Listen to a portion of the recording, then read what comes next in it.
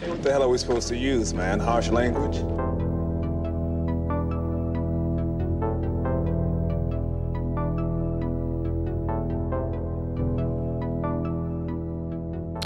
Uh, let's get a quick mic check from you boys. Check, check, check. Testing, testing, testing. Michael Keaton. Finally, it's relevant. What up, gentlemen? That's true. We're recording. We're live. We're doing this We're casual back. from now on. Okay. We're back. Uh, hello. What's going on? A oh. lot going on. No, I'm just kidding. Boom. What? I had to change my lights. Oh, nice. Uh, what's going on? You guys have a good No. week? Yeah, had a long weekend. Memorial Long Day is today, Yeah, did you celebrate? the day of which we are recording. Yeah. Um, no, I didn't celebrate. I wanted some ribs, day of but reflection than day of celebration.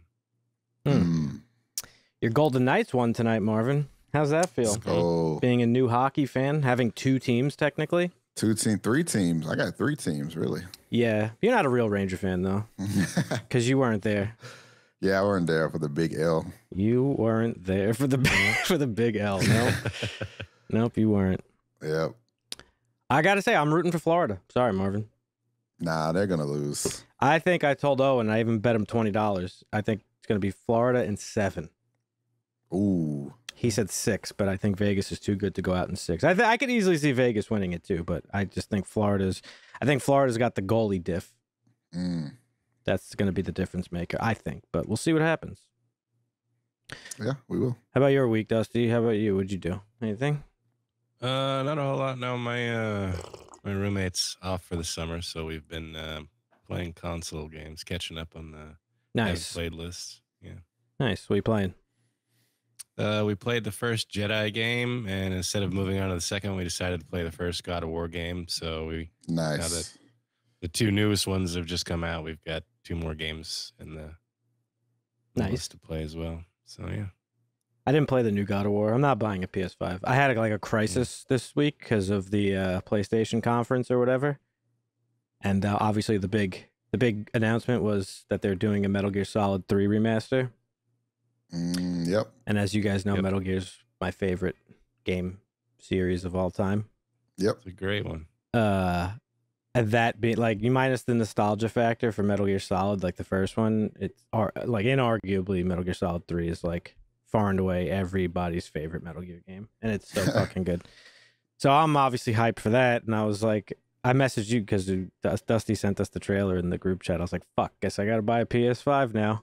And it's Mhm. funny because every PS console that I've gotten has been because of a Metal Gear game, pretty much. Damn. Yeah. So, so when Metal Gear Solid 4 came out, I like the day it came out, I went to GameStop and bought like a package deal with like the game and the console.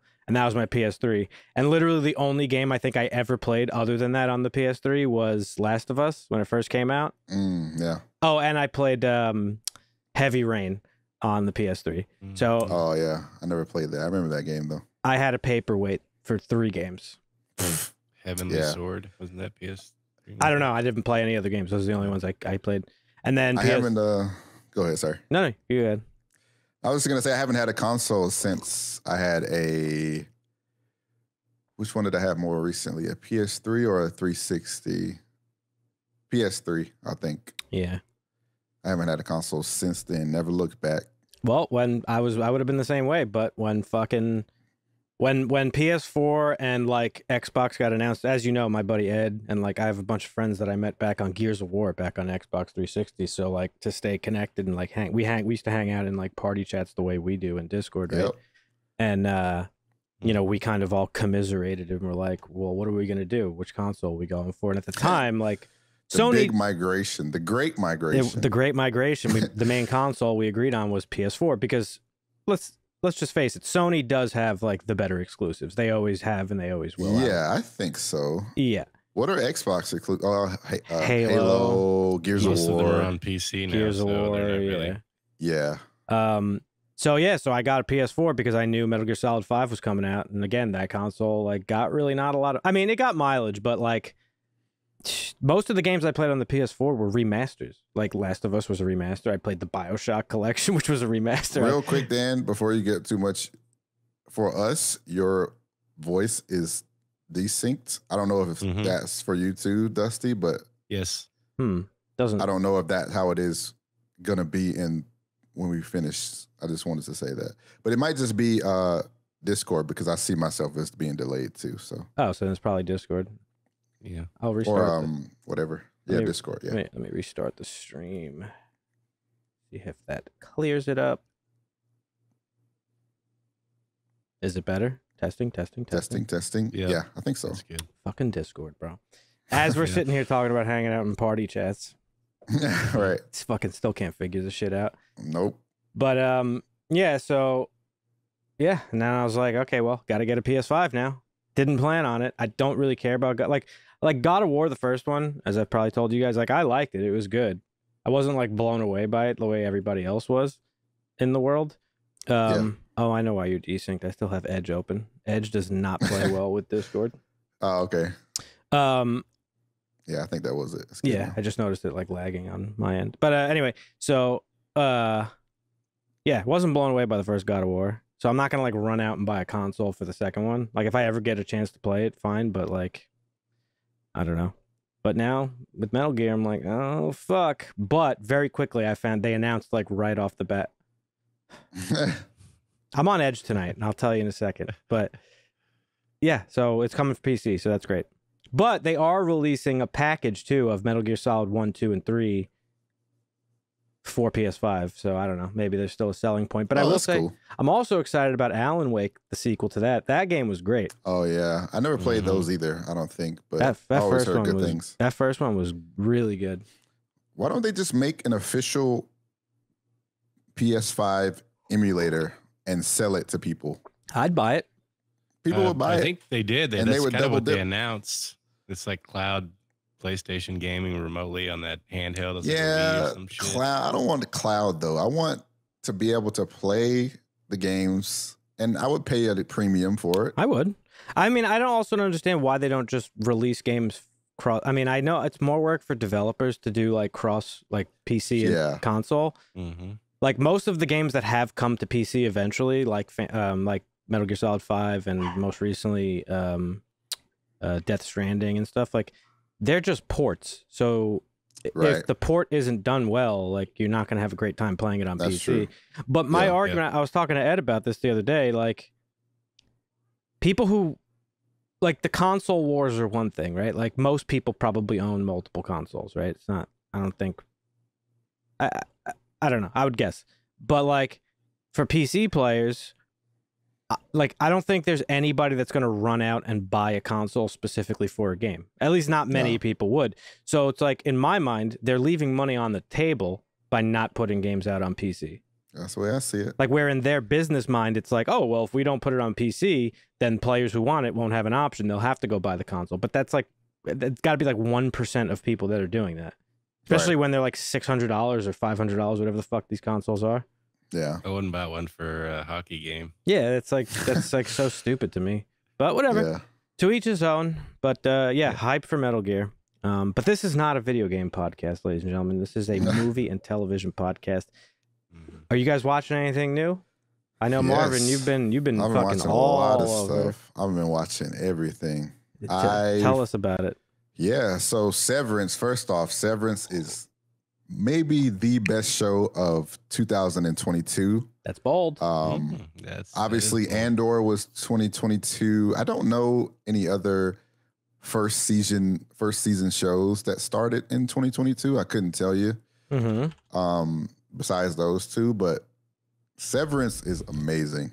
Um, I don't know who direct. I know Ben Stiller directed a couple of episodes. I want to say, Yeah. um, Usually shows like that have like several directors. yeah, but created it- by it a guy, so Dan good. Erickson. Yeah, the gist of the show is uh, people sign up for this job where you split your personality and your work personality and your outside of work personality. And when you go to work, you don't have any memories of you know what you do, your life at home. That sounds so you're funny. basically like a baby, you know, in this this Right. new world. And And Yeah. it's got a great cast. It's I don't know people's names, but if you Adam look it up, Scott. yeah. it's a Do- great do- do you It's been on my bounce- watch list for a while. I just It's haven't so got into it yet. good. Do you bounce in and out of that work personality versus not, or you just constantly Yes. at work? Okay. That's right. So yeah, they go back and well, no. So when they go to work, that's their, they're you know they're at work. Yeah, but They're- they switch in and out as they don't just stay at work constantly, right? no no no. Oh, okay. Yeah, yeah, yeah. No, that but to cool. them, it feels like they're always at work. Right. Because, it's yeah, that so- it's like a split personality thing. Yeah. Yeah. But it's really good. I don't want to say much more because there's so much to it, and anything Yeah. I say else will kind of spoil all the surprises. But it's I- really good. I had heard it was really good, and um, it was on my watch list as well because it's Apple, and Apple like has this is the best thing Apple's put out. I think That's also bold because everything they've put out is good. everything's good. Yeah. Yeah. Yep. And you know I love good For All. Mankind, but this is way better than Yeah. it's like it's like a different ball game. I think I'll probably watch this next. I um I told you guys I, I watched uh American Born Chinese, the new Disney Plus show. Mm, I watched a few episodes of that too. I You like it? I do like it. It is a little juvenile though. It feels very like it's I for don't know. kids for sure. It's hundred percent for kids, but I'm still enjoying it. I think I'll definitely finish it. It's based off of a fairly recent comic book that I've never heard of, and um I'd imagine it's like one of those comic books like geared towards kids. Yeah, and the show is definitely geared towards kids, uh, which is noticeable. But I don't think it's like a hindrance of it. Like I'm still enjoying No. it as an adult. Um, did you start it at all, Dusty, or no? Not yet. No. Yeah, it's got a like some of the acting is like a little bit not great, yeah. but I, the, I watched like I watched all eight episodes in like two days. Yeah. So there was nothing about it that really had me like, ah, fuck this kind of kind of thing. It feels more, way more like a Disney, the network, like TV shows that used to come on Disney. It kind of feels Yeah. more like that as far as like the acting, but of course the the fighting and stuff is yeah, I think way f- more higher quality or whatever. I think the fight choreography is really cool. I think the special effects are really good. Yeah, Um, obviously, I think it's a very like personal story to whoever originally wrote it in terms of like Mhm. what it's like Yeah. to grow up as like a Chinese kid, like a Chinese person, but like, you know, we talked about this with like you know, uh, everything everywhere all at once, like that, like that very like uh conservative structure and mentality, and right. the the story plays with those themes. Like it's about that really, not it's not really about like the Chinese pantheon of gods, right? Wukong. So Mukong, my boy. Uh, but uh, yeah, no, I enjoyed it. I thought it was good. I liked Yeah. it, even though it's like definitely for children. Um, and then I just started this season two of Sweet Tooth, which I'm like, mm. yeah. Sweet Tooth. The se- the first season was good. I liked it a lot.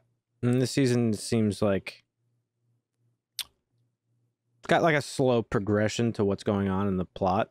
Mm, okay. Um, I definitely want to watch that as well. it's a really cool story. It's like your typical like post-apocalyptic like humanity was like wiped out by a pandemic type of. It's like The Oh. Last of Us, except uh, More when fantasy. Well, yeah, because when the so basically what happens is the movie this show is like it's the world has been over for like 10 years and it's like humanity's like done. Uh, this Yeah. this pandemic killed like I don't know, 90% of the population or something like that. But at the same time that the pandemic started, newborns were hybrid human animals. Mm, So the two things like happened at the same time, and there's like a mystery as to like what the like. Obviously, there's a connection, but it's like Right. what the connection is, and the show is like kind of leading. This is also based off a comic book which I never read, but it uh, it's it's leading you to believe that like this is this was nature's way of like defeating the pandemic. Like the way to survive, like is to create these like hybrid children type of thing. got it.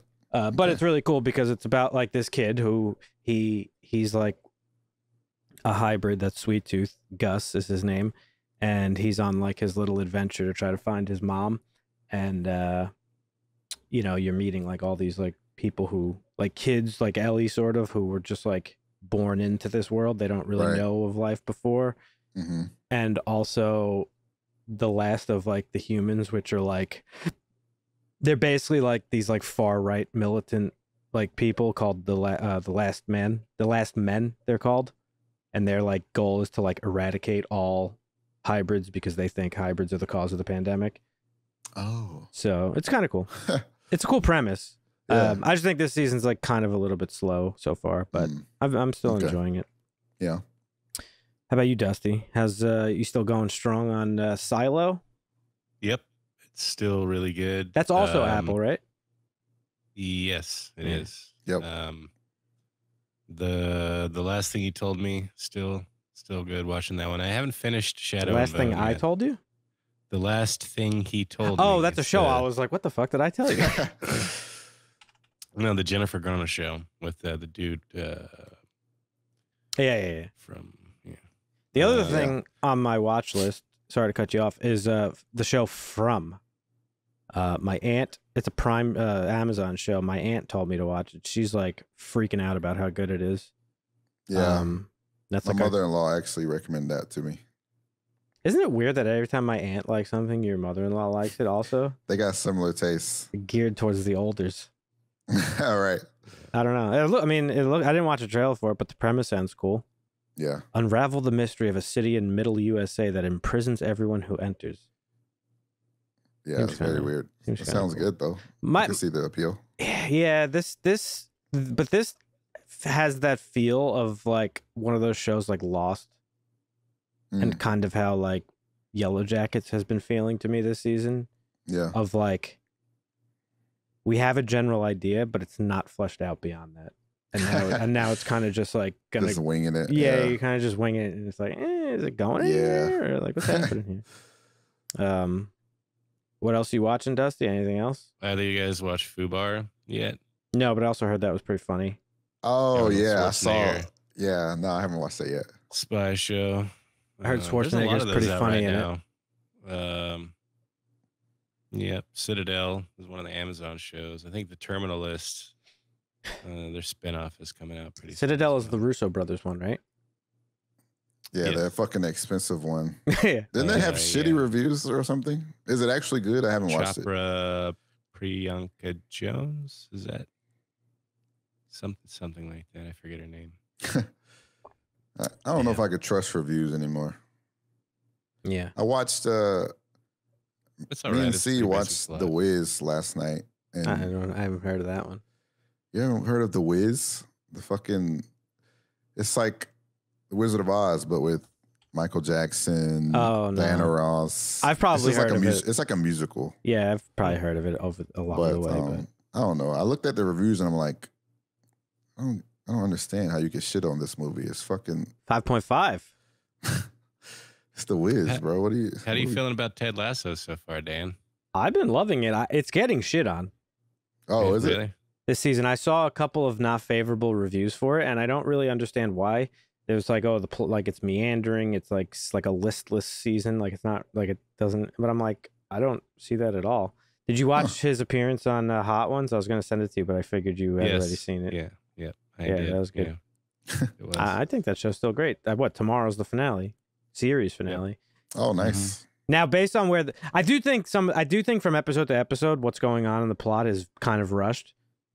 Like the episode prior to the last one, Nate was like, he quit his job and then was like kind of having his regretful mm-hmm. uh, stuff happening, and then the next episode, he was like, they were like Yeah. coming to ask him like, hey, you want to come back on the team? So, I if there's a spinoff, I guarantee it's like him being the head coach with the regular cast, but not to spoil anything for you, Marvin. But I don't think you can Yeah. watch it at this point.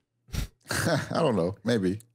It's a good show. It's just like a, it's just like a, like a, like a, it makes you feel good, really. Yeah. Mm-hmm. New season of Sunny starts next month. I'm hyped for that. We got a lot of stuff coming up. I think. Did I tell you guys last week that I watched uh Pope's Exorcist? Yeah. Terrible. You said it was good? No. you said it was terrible. terrible movie. Didn't like Awful movie. I did not like. Oh no, I don't. We didn't talk about it on the podcast because Dusty had watched it. Yep. But he watched it without subtitles. He told me. Yeah. Well, there was yeah. I Yeah, mean, yeah. there the Italian subtitles weren't there when he was speaking Italian. so- Yo, his accent is ridiculous. It's so bad, the, his Italian, and it reminded me of his Greek accent in Thor, which was like meant to be funny. And it was just, I don't know, the whole movie was just, it was just bad. I didn't like it at all. But, but there was a groundbreaking revelation with Owen, who we've had as a guest here, folks. oh, Shout what's out. this? What happened? Owen likes watching movies from time to time, so I was gonna watch something the other night, and I was like, I was like, oh, I kind of I'm in the mood to watch Paul. I haven't seen it in a long time. I was like, do you want to watch it with me? And he goes, no, just flat out no. that.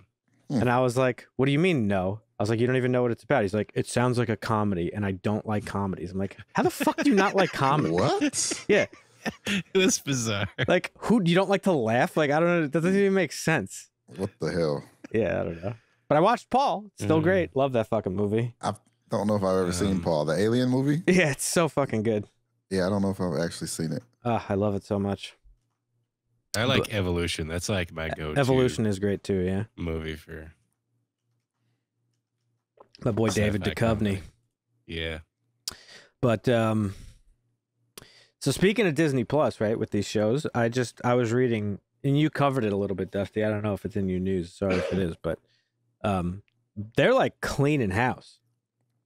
Starting tomorrow, today we're recording this on the 29th of May. So starting tomorrow, from what I read, like they're cutting like a lot of shit. And it's not just that they're not making it anymore, they're like removing it off the platform entirely. Um and Mm. it's like a lot of their shows uh mighty ducks is going to be an unfortunate casualty and I, I kind of liked that show just because of the nostalgia it's not a good show but it's just like I, you know nostalgia Mhm. but uh yeah they're cutting a lot of shit it's crazy and apparently what's his name the guy from warner brothers what's his name David Zaslav. david zaslav apparently he had like a meeting of the five families or something and was like hey The Five Families. Yeah, he was like, we should package all our services together. And it's like, oh, so just cable, but more expensive cable? Like, like, what are you even saying? I don't know. These streaming wars are like kind of ridiculous. It's getting crazy. It's like, yeah, it's gonna be full It's a circle here soon. subscription This war. new Everybody thing, wants you to guys. subscribe. Yeah. Yeah. car companies want you to pay them so you have heated seats. Yeah. Oh yeah, the subscription service is wild. Yep. There's a subscription for everything: candles, Oh, yeah. Toothbrushes. ass wipes, Yep. all oh, kinds yeah. of shit. Mhm. There's a subscription. You know, I got my fish tank, right? I order from time to time. I have what's called a refugium, and it's like part of the filtration. And it's essentially you you're growing what's called macroalgae in like the filtration area. And the objective of it is so this al- algae feeds off of light. It's photosynthetic, just like corals. But when you have a fish tank, you don't want fucking gross ass algae growing in the display. Yeah, gross. so one of the ways to battle it is you have this refugium and you run it on an opposite lighting schedule. So when your lights are off at night on the display, the lights are on in the refugium and the macroalgae is photosynthesizing and it sucks up bad nutrients like a lot of like garbage from in the tank essentially. So it makes your Mhm. tank cleaner and also reduces algae growth hmm and uh, the website that I order the stuff for the refugium on, they even have subscriptions. Like, oh, you could just get a shipment of the shit like every every month or It's so. And I'm just bad, like, what bro. the fuck? I almost forgot where I was going with that story, so I I, I took it back home. Amazon something loves like that shit, 50 dude. 50 some thousand US stores are closing this year or some shit. Like, Good. these box stores are going away. Good. Hey, I'm all about Close Can- up shop. I'm all about convenience. But with these streaming more, services, um, it's like it's crazy because it's all just. Sorry, I keep interrupting you. Go ahead. I I was just gonna say, let's free up some of this this real estate if they're if they're closing up a lot of those brick and mortar stores. Yeah. It's just weird because it's like all based off of it's like all a bunch of guys sitting in a fucking boardroom like all right. It just like it almost feels like there's like no creativity in it any, like in what's being produced. Um mm-hmm.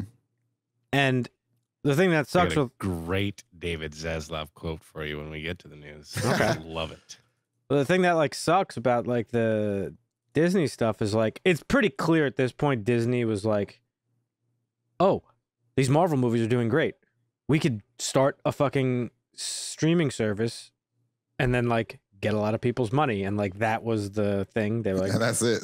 like, uh, like, because basically everything's getting canceled except Disney, uh, Marvel, and like Star Wars stuff. right. So it's like clearly not working out for them, hmm and that that goes to like you know we we talked about it last week. Like Echo is going to be a full release, and the only reason for doing that is because they're like either a aren't really proud of the product, which Dusty touched on last week, or b, and probably more likely b. They know that people aren't going to come back week to week to watch the shit, so they don't want to have to report like their negative turnover every week. yeah, So they're like, fuck it, just binge it. that's true. Um, but like all these other things where people are making stuff with like good intentions. Well, I think also this will be a good metric for them if they release a show like this and see what kind of views they get by dropping it all at once. Like if they get a lot more views than they Mm, thought, yeah. they're okay. So we are kind of gone going down the right path with some of these shows. But if you know if it bombs, which I don't think like that show's gonna do well. I don't think people care about Echo, like the general audiences. I don't even care about Echo, and I don't think you do either. Yeah, we talked about Echo last week, and I don't remember. Yeah, what Echo was about. She's Kingpin's like niece or something. That's right. Yep. and she has like similar powers to uh uh Daredevil. Daredevil's blind and has like heightened senses. She's deaf and has heightened senses. It's like Yeah. The only way a show like that really works is if uh, a lot of the characters that everybody does love show up week to week. I mean, let's face it, that's why and that's people hard to do I I feel because like you have to pay those actors money to show up. once people got wind of the fact that Daredevil was going to make an appearance in She-Hulk, like that's probably why people kept watching that week to week. Mm. Mhm. I mean, you know. But anyway, yeah. So, I I, don't know. struggled to watch that show. oh, I know you Do Do you think weekly releases actually retain more customers? yeah, probably in the long run because otherwise people would just binge. Wa- I mean, that's why like Netflix think- wanted to go week to week because Yeah. they have the People problem. canceling. Yeah, you just like, oh, I want to watch Stranger Things. Oh, Let Stranger renew my- Things, Let me renew my subscription, binge it, and then cancel Well, I it. think I think that's yeah, I guess so. I feel like some people I feel like more people would just not uh cancel. They would just let it run. If it's if you put out good content, well, Netflix is just so much shit. I mean, I guess people would cancel it when there's nothing that they're looking forward to. But I would venture to guess that a lot of people who keep subscriptions running purely just forget about them. yeah, Because I know Hmm. I do that. Like yeah, I had Hulu I'm running, and I was like, "What the fuck once or did I get. Hulu? I don't even remember getting Hulu." yeah. so like, I don't know, but like, I don't know. I mean, Netflix is definitely. If I was gonna have one, like it would be Netflix or maybe like Apple TV, because Apple puts out good stuff. But but Right. Netflix has like the benefit of like the amount of content that they have. They have a lot of good like docu series and like true crime stuff, which I like. So like, there's a lot of value in Netflix for me. I don't really use it. I keep it active. I was gonna cancel it. I keep it active because my aunt watches it, but um, and she pays for it. They're so like, cracking down on the password sharing. They're sending out emails. Oh, emails. yeah. to Get one. Yep. Nah. Yeah, I got an email. I didn't read it though, 'cause I don't really give a shit. But Good uh, for you, Dad. yeah. So yeah. So uh, what do we got, Dusty? What do you got for us this week? Well, Let's get into it. Any good news? Any big news? uh, start off with a strike. Oh, yeah. Nothing new, really. Um, I guess uh, the only news that I saw really is Marvel has delayed filming of Thunderbolts, which Oh. was scheduled to start filming in three weeks in Atlanta. Mm-hmm. So it is the latest victim of the strike. They're going to hold off. They were actually uh, Yeah. Wonder Man was in the middle of filming when the strike happened, and they canceled that. So We're gonna talk about the strike Mm, very briefly in a little bit again. um, Blade was in pre-production. It's uh, affected. You know, Fantastic Four scheduled tentatively to start filming, or it's to start, I guess, production or pre-production January 2024. announce the filming. cast already, please. Filming, they want to start filming in January. So uh, if the strike goes on longer, it's going to delay that as well. So Didn't they announce the cast Um, of? No, Fantastic. no. mm, There's uh, been it's all rumors bouncing around. Yeah, and Oh, then okay. there was one. I saw one- something. No, yeah, there was just one this week that was like the. This is like probably. This is the type of rumor where it's like Oh, it so was a leak. big. It was a leak from from Dusty's guy from uh, My Time to Shine. I was just Yeah. gonna say like this. This leak is like the one that's probably true at this Oh, point, okay. which yeah. is uh again what Margot Robbie allegedly uh, Adam Driver, Margot Robbie. Mescal. Yeah, Is that? Um, And, yeah, uh, Mescal and uh, David Diggs, who I'm not really sure who yeah, that is. David Diggs. Yeah. Which I'm uh, I'm down for that cast. I don't really know how I feel about uh Reed uh, Adam Driver as Reed, but like I can't see it. I'm sure he'll do good because he's a great actor, but we'll see. And I Hmm. just I like Margot Robbie a lot. David wasn't that the guy from? Yeah, he's the guy from Hamilton. Oh, I haven't watched that. I haven't watched it either, but I just remember. All right. Um, we're gonna do et cetera here first. and Get it out of the way. There's not a whole lot. Um, since we were talking about it, and this is one of your favorite topics. Uh, Martin Scorsese is hard at work on his next film. Did you see this one, Dan? No, I didn't see the news piece. I watched the trailer though. After the no, after, no, I'm not talking about uh, the Flower Moon movie. Oh, I'm okay. talking about um, after the Cannes Film Festival. He was touring Italy and just decided, you know, going to go hang hang out with the Pope, Hmm. Mm. and the Pope inspired him. Oh, So at the Vatican, he made an announcement. oh boy. I have responded to the Pope's appeal to artists in the only way I know how by imagining and writing a screenplay for a film about Jesus, and I'm about to start making it. Wow. Didn't he already Enough. he already made a movie about Jesus? Yeah, I think uh I forget who it was. Was that? Uh, it was a little while ago. I don't Talking about- remember who the actor was. you talking about Viggo Passion of the Christ? No, No, that uh, was Mel, wasn't it? yeah, that was Mel Gibson. Uh, But Martin Scorsese made a movie about Jesus already in his career. oh, really? Why is this a big announcement? Because he's making Well, another this one. is He's the start real one. on it right now, and it's Martin Scorsese. This is Oh, the what are you real talking- one. This is the real one. Eh, well, So, go ahead. Yeah, go yeah. ahead, He didn't. He didn't say anything else. I mean, the guy he goes to the Vatican, hangs out with the Pope, makes an announcement. Hey, I'm making a movie about Jesus, and I'm making it right now. And that was You it. know- That's all we know. like, all right, you can't shit on Martin Scorsese because he's like one of the best filmmakers ever. But he, like, I don't know. Sometimes he just feels like a guy trying to stay, like, desperately trying to stay relevant. You know, yeah. like you get a shit Yeah. on Marvel movies because they're popular and like, I mean, who's going to play Jesus? Is it going to be uh, Leonardo DiCaprio or Al Pacino? Yeah, they'll- Imagine. they'll get Robert Al De Niro to play him. Yeah, the Last Temptation of Christ. You guys never saw it. Well, I know Marvin hasn't seen it, but have- I'm Yeah. sure. Have you seen it, Dusty? Yes. I have not. Okay. 1988. Oh yeah. William Def- Willem Dafoe Mm-hmm. played. uh Oh my god, Yes, sir. Dan, that's. did you ever get around to uh, watching John Wick Chapter Four? No, I gotta look talked up about pictures of this. I think I decided I'm never gonna watch Oh it. my! Nice. Uh, Joe Jake, Joe Drake. Oh, I don't know why that was hard to say. Chairman of Motion Picture Group at the uh, quarterly meeting. Yeah. Uh, announced at Li- uh, quarterly Lionsgate earnings call. They they're working on a fifth Hmm. John Wick movie. Yeah, I saw that. We have Wow. Ballerina is coming out next year as a spinoff, but the uh, he went on to say we're in development on three others, including John Wick Five and a television series. So looks like gonna blow up the John Wick assassin universe. So assassins everywhere for everybody all the time. Yeah. There's gonna there's gonna be the new like Fast and Furious fucking Yeah. franchise, which is hilarious because that's getting a spin-off too. I think I just saw like a female version of it or something. They're doing like a female know. cast. I saw a funny video on TikTok. Somebody edited. I told you guys the the joke about like that Ed mentioned like Tony. Uh, what's his name? Tony, whatever the fuck. Vin Diesel's character, or whoever, whatever the Mm. fuck his name is, being like an Avenger. He's like so powerful now Yeah, at this point. Yeah, saw- he's basically a superhero. Yeah, I saw an edit of him being Dominic the one. Toretto. Dominic Toretto. Yeah, I don't know why I said Tony, but him being the one that saves the Avengers in Endgame. Mm. But like they edited him in the Captain Marvel like role, and it's just his car coming in and like blasting through the fucking That's ship good. and stuff. and he's yeah, like, that's good. and it's just him like a close up of him being like something about family that he just like zips Something off. about family. And then it's Something rock- family. And then it cuts to Rocket going, "Oh yeah, that's it."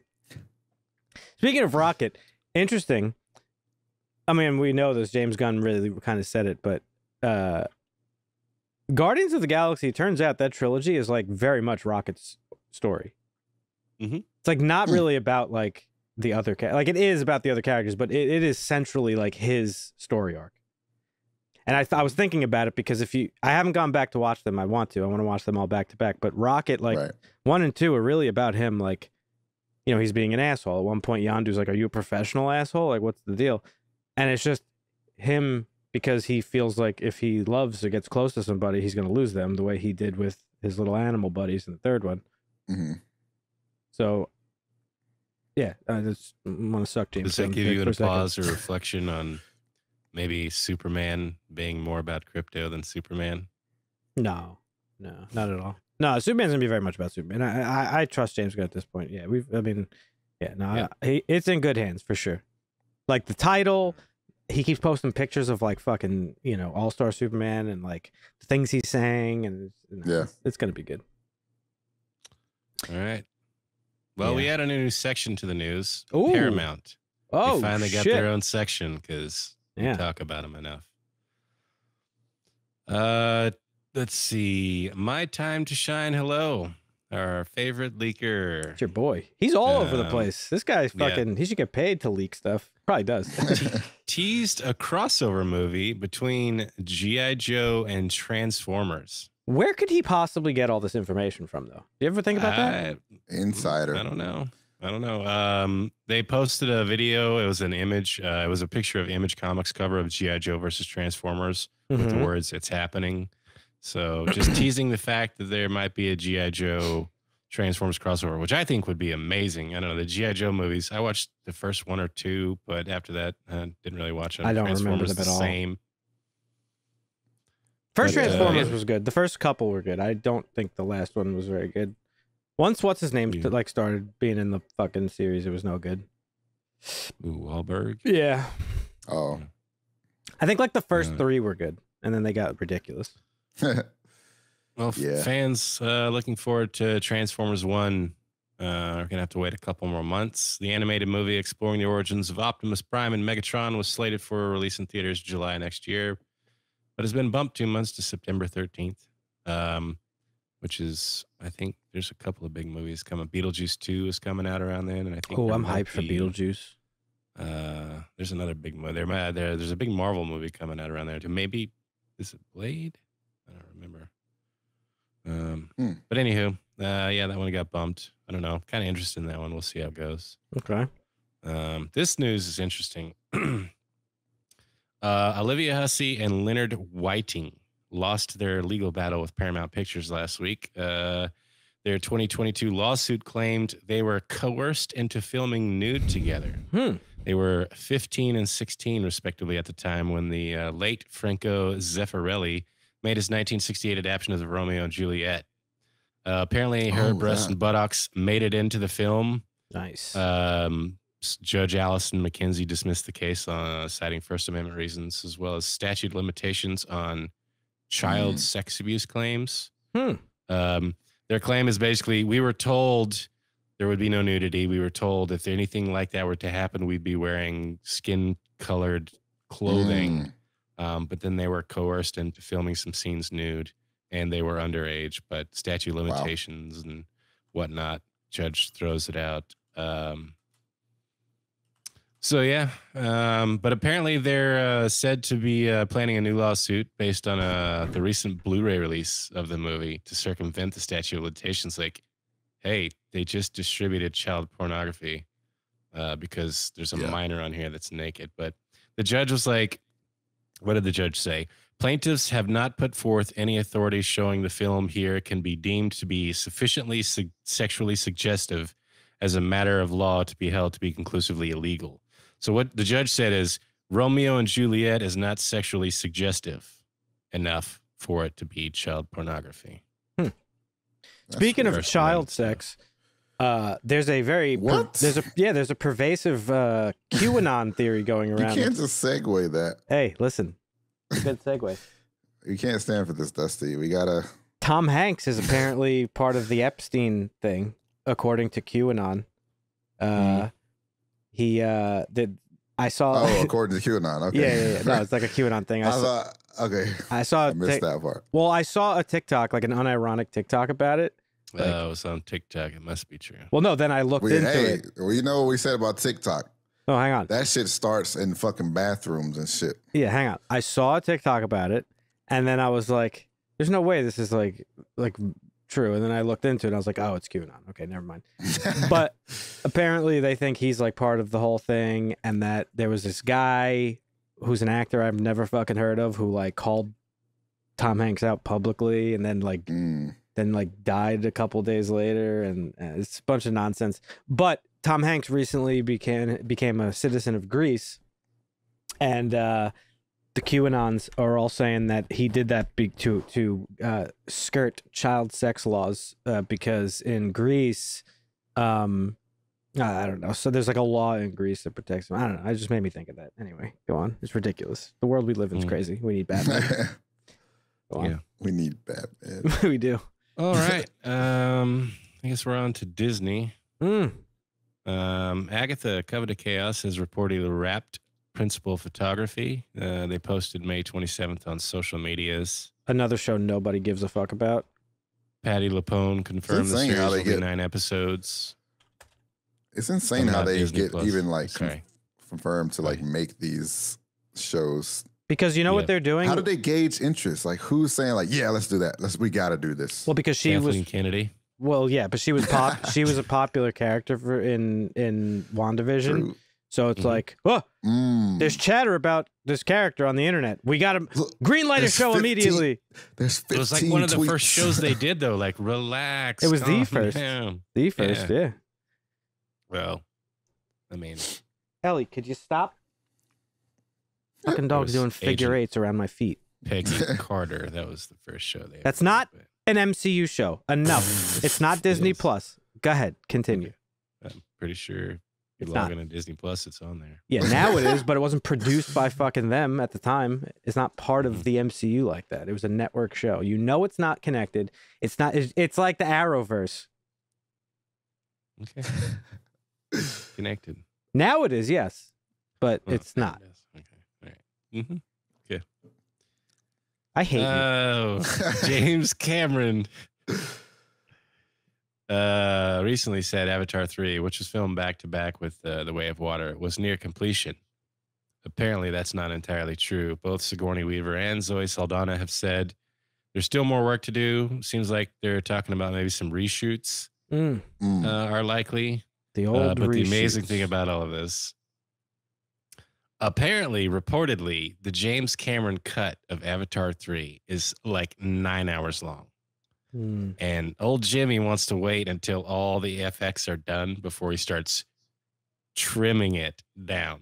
yeah. And I say that with air quotes because it's also reportedly, I actually put that in quotes before I read the article further. Further down, it said he actually wants to release the nine hour cut on Disney Plus. Who's gonna watch that? Who's gonna sit there and watch a nine hour Nine movie? hours, bro. I mean, we got the Snyder cut, and people loved that. That was So, uh, three there- hours. There's a there was an audience. There's an audience. Who loved nobody Come loved on. the Snyder cut. There's like eight people that loved the Snyder cut. Oh come on, man. come on. Nobody loved it. Speaking of Disney though, I don't know if you're gonna touch on it, but apparently uh Little Mermaid's getting like really good reviews. People are loving it. Nice. Uh, I know it. Uh, it's doing pretty well. It made like a. so the black girl didn't million, ruin the Little Mermaid. Apparently not. or billion. Mm. I've heard even that it's the best live action thing yet from them. Mm. Which It's not a high bar, but it's not a high bar, no, but but that but that's good because they've all been terrible, uh, with the Yeah. exception of like Aladdin and Jungle Book was pretty good. I didn't, Mm. um, but it's got a 7.0 on IMDb. We might have to watch it at some point, boys. Give it the Mm, the final judgment. mm, yep. I don't know. The harsh language stamp. Sick that week. She's being like praised though, because I mean, why not? She's got a fucking fantastic voice, and she Yeah, she. Yeah. here's a four you out of ten. though. refuse to watch live action remakes from Disney, right? I know, I know. Okay. What's the four out of ten? I want to hear it. Lack of. I'm not gonna read the whole thing. It's like 12 paragraphs, but Well, it's the- not lack of melanin. That can't Yeah. be what, what the words you're about to say. no lack of magic. lack of magic. Oh, David Oh. Diggs is in it. He Oh, he played Sebastian. I didn't know that. that's yeah. Wow. Yeah. Is he Jamaican? I don't know what he is. Mm. Nobody's nobody's in uproar about that. though. Nah, fucking fish can't be black. Get imagine fucking. if they made. Imagine if they made him. uh I don't know, some fucking white voice actor instead. Oh yeah. there would be no backlash. No, no. Sebastian's the fish. You're thinking of the the, the lobster Oh, guy. I'm thinking of yeah. I'm thinking of yeah. That's right. I can't right. remember the crab's name. Crab lobster. Wait, no. The crab is Sebastian, isn't it? Maybe. Maybe I'm confused. I don't know. The fish is something different. It's got to be. You're probably right. I don't remember. Yeah. He. Oh, flounder. You're right. Okay. Yeah. Yeah. No, he did. He was. Mm, I love flounder. Not him as a character, but the fish You like eating on a it. sandwich. Yeah. Yeah. No, me too. So good. Sandwich. Flounder fillet, fried flounder fillet, bro, with Mm. some hot sauce. mm-hmm. Man, I love fried fish. What else you got for us, Dusty? Now we're going to do a quick rundown of actors on whether or not they would. Okay. Whether or not they would what? Schwarzenegger was asked about joining the MCU. Wait, where or not they were? Oh, okay. Okay. Just Just would in Okay. general. Just would anything. if okay. if the role is right, was all his response. Okay. Of course I would if the role is right. Okay, Sure. that's all we got from him. Okay, Hang on, real Mark quick. Mark Hamill. Real quick. it's not going to be a whole thing, but you just mentioned James Cameron and then you just mentioned Arnold Schwarzenegger. Apparently, James Cameron announced at something conference he was at that he is currently working on a Terminator reboot. Continue. Yeah, Interesting. okay, yeah, I think I heard that. Uh, Mark Hamill spoke on the possibility of donning the Jedi robe again for Disney Plus because they announced that they're doing a show for Rey. Wait, you got to so run that back. do- I don't know what you just said. Mark Hamill spoke on the possibility of donning the Jedi robe again Ah, okay.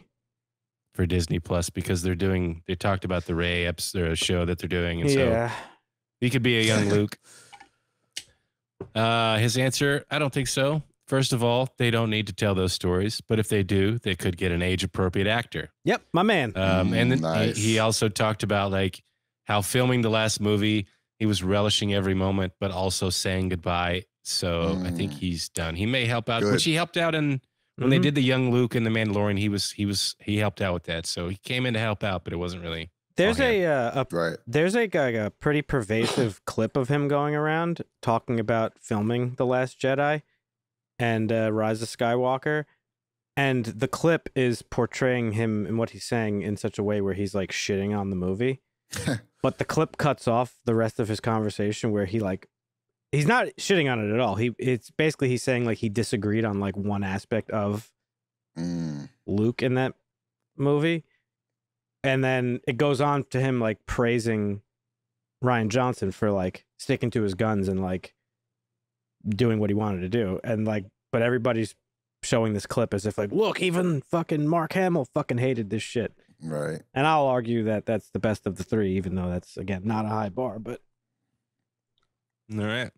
Tried to be different. Dare to be different, Marvin. Yeah.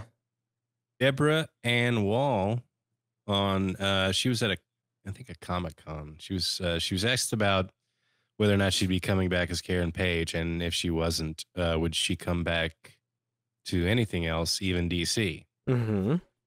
Um, there's no plans for me so far on either side of the MCU or DC of the comic book universe. So it sounds like she's not going to be in Daredevil. It sounds like, but she was open to the idea. She's like, I don't know. Are we allowed to do that? Can we? She's like, I don't know if I'm one of those people who can do that because somebody said, you know, when they were there, it's like can candid interview, and he's like, James Gunn did it. She's like, Yeah, I'm not. Yeah, I'm not James Gunn. I can't. I don't know. I don't know what these interviewers expect from actors. Like I just saw something too recently. They somebody was like, "Oh, it was um Elizabeth Olsen." They were like, "Oh, what are the plans for Wanda in the future of the MCU?" And she's like, "I don't fucking know, dude. Like when I get a call, I get a call. Like I I don't like if I did know, I'm not going to tell you because I'll get fucking sued or fined or whatever the right. fuck."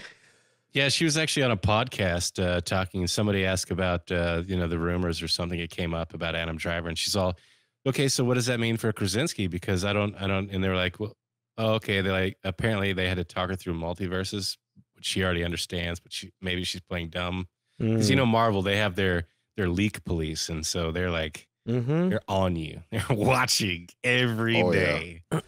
Real quick, I was speaking of leak police. I, there was this guy that leaked something that Apple was releasing, like a new tablet or something. Anyway, Dude's in Guantanamo. the guy, the guy that he's definitely getting sued, like ridiculously sued, Oh, yeah. but he also was getting the information from his sister and got her fired from a job. Damn, what an idiot. Yeah, so he like he's he's like he's obviously like an amateur leaker. Like you're supposed to wait for like multiple sources because they give Yep. out fake information to get the rats. Mhm. And that's what happened. And now she's like, she probably fucking hates his ass. Well, she's an out of idiot too. Yeah. Well, breaking news with leakers is hard because, uh, I mean, if you have one leaker and the source, the information they've been giving you is reliable thus far, Yeah. you don't always necessarily have to corroborate it, but you could fall Mm. victim to uh, they lied to me for sure. Because Mm. when I was doing uh, the console journalism, we had a PlayStation insider that would give us information. You had a mole? Nice. we had yes, we had an actual insider. Yeah.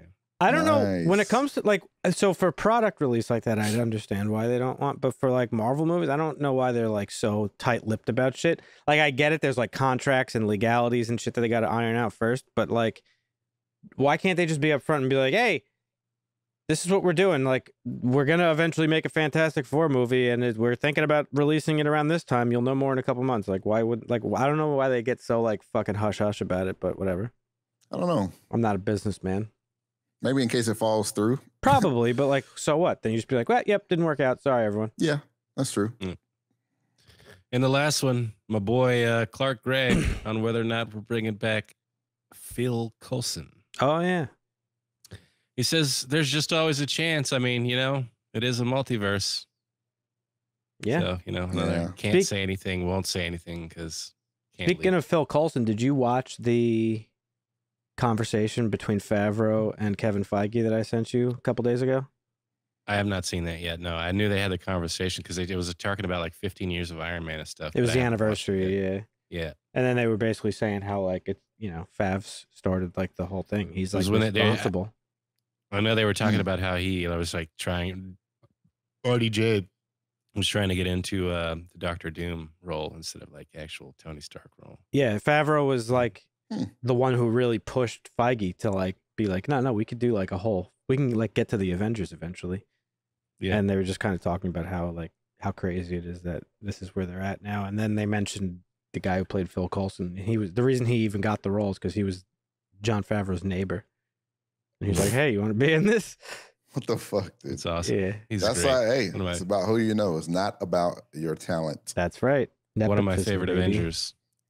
Yeah, no, he's hilarious. Not an Avenger, but hilarious. Yes, great character. Phil Coulson is an Avenger. I watched I watched the clip of uh Thor, the original, the first Thor, when he gets his powers back, you know, and then he like wa- Coulson drives up and he's and you know how Thor's like Earth name is Donald, and he he's like, it's like Donald.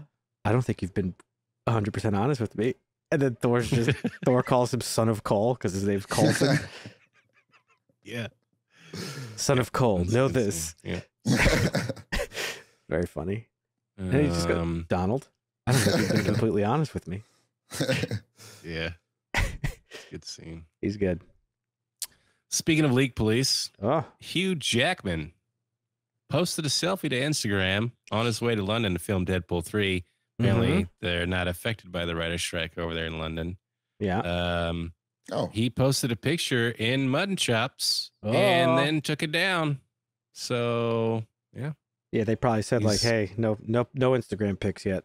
he, I guess, yeah, he was posting pictures. He had the full beard, but then he uh, he shaved it down to the the iconic look that he's had over the years, and so he's going to be. And there's rumors that uh, some of the other characters from the X Men universe Probably. We're also going to be in this. So. Hey, Ooh, another thing I think I sent you that you probably didn't watch was Karen Gillan. She uh, has a YouTube channel. She posted like this montage, not montage, but I don't think you sent me. maybe I didn't send it to I you. believe you.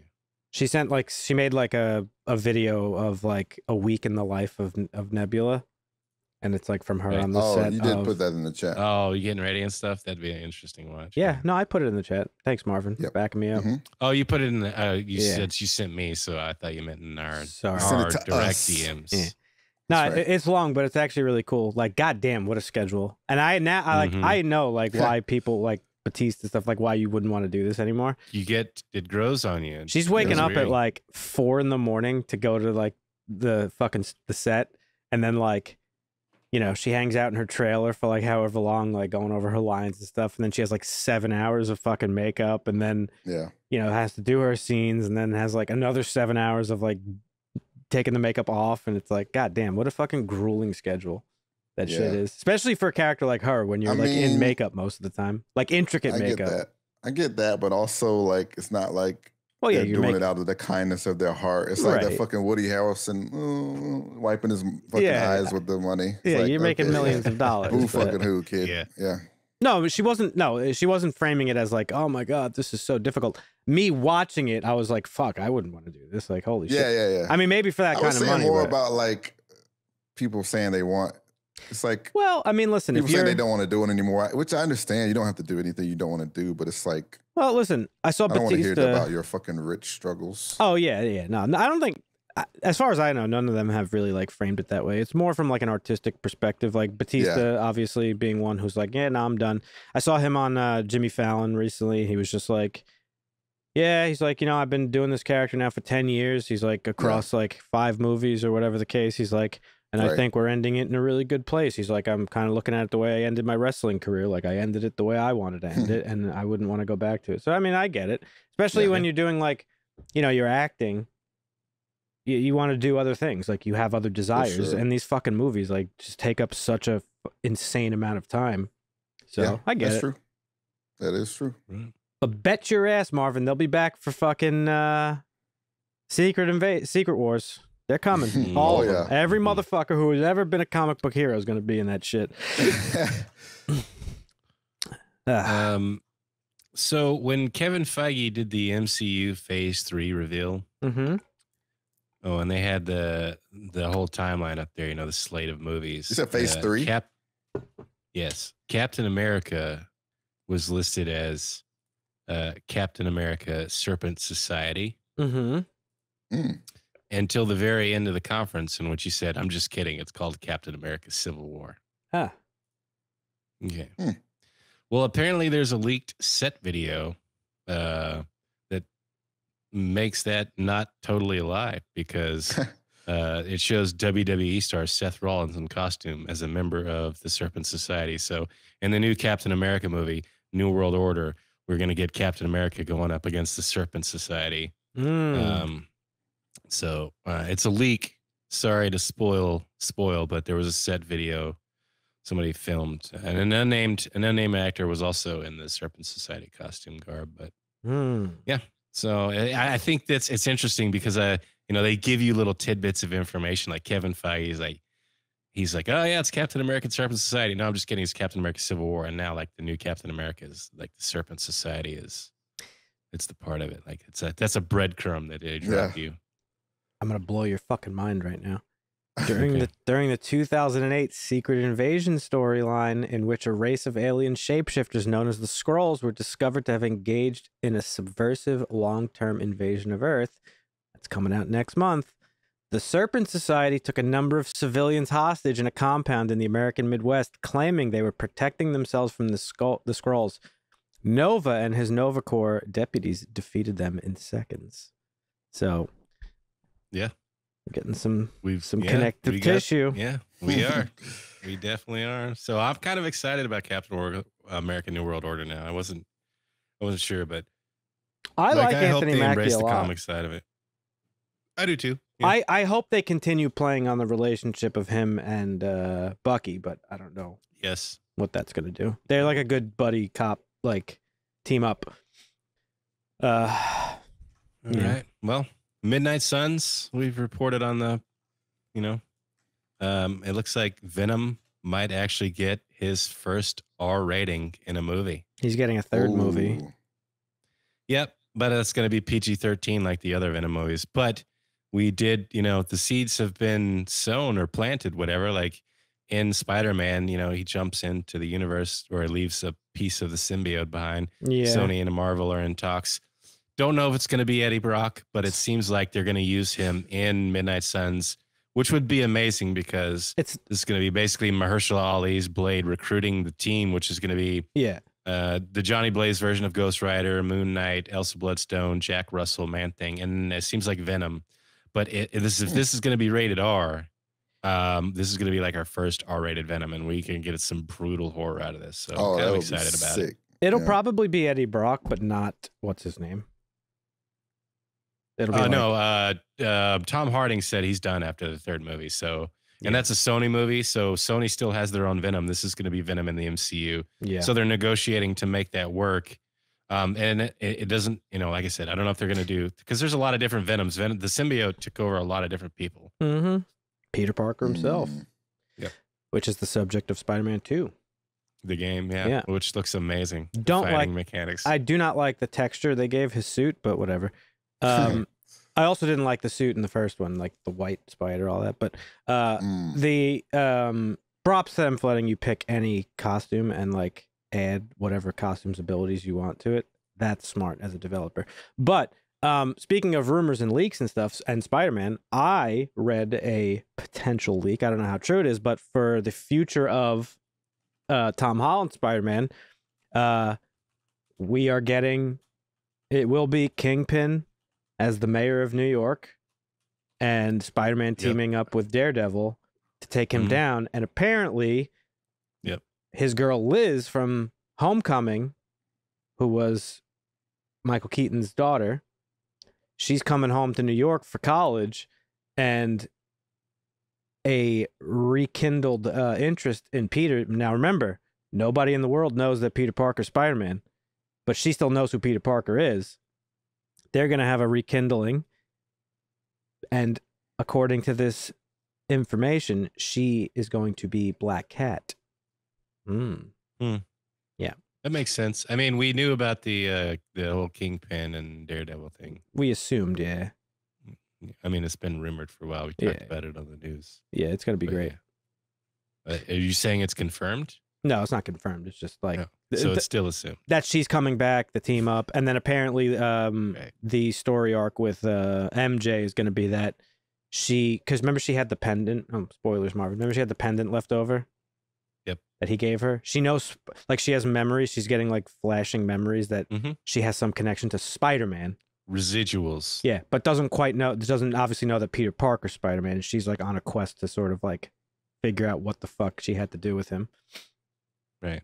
Yeah, Marvin, you got to get on You're that right. shit. Yeah, I do. Sick of talking about it and beating around the bush. You know, I actually I was kind of a little worried when I was looking at the news this week because I know it's like the last week of Succession. It's the last week of Barry, and I hate getting on like the news sites because they're like, "Oh, this is the blank spoiler for this show, and the ending of this show is this," and Mm-hmm. so I hate I hate reading. But I, the sites I go to are pretty. They're pretty good about not spoiling shit in the headlines. So That's it's just nice. Twitter really that kind of fucks me up. But I was a little worried. But uh, yeah, anyway, on to WB. We don't have but a couple here. Um, we'll start with the David Zaslav quote. Um, at the uh, this is what you were talking about the MoffettNathanson's Technology, Media, and Telecom Conference. Yeah. Um, he was talking about how like he has full confidence in James Gunn and stuff, uh, but he had some candid things to say about the studio as it moved forward. And this is exactly what he said. We've greenlit a number of projects, and I think it's uh, one of the assets that was really underutilized and underdeveloped in the company. And we also have this philosophy at the company of no content before it's time. This year, we don't want to put a movie out or a game out unless we think it's our best work. Even if we mm-hmm. do that, half the time or two thirds of the time, it's not going to work. Yeah.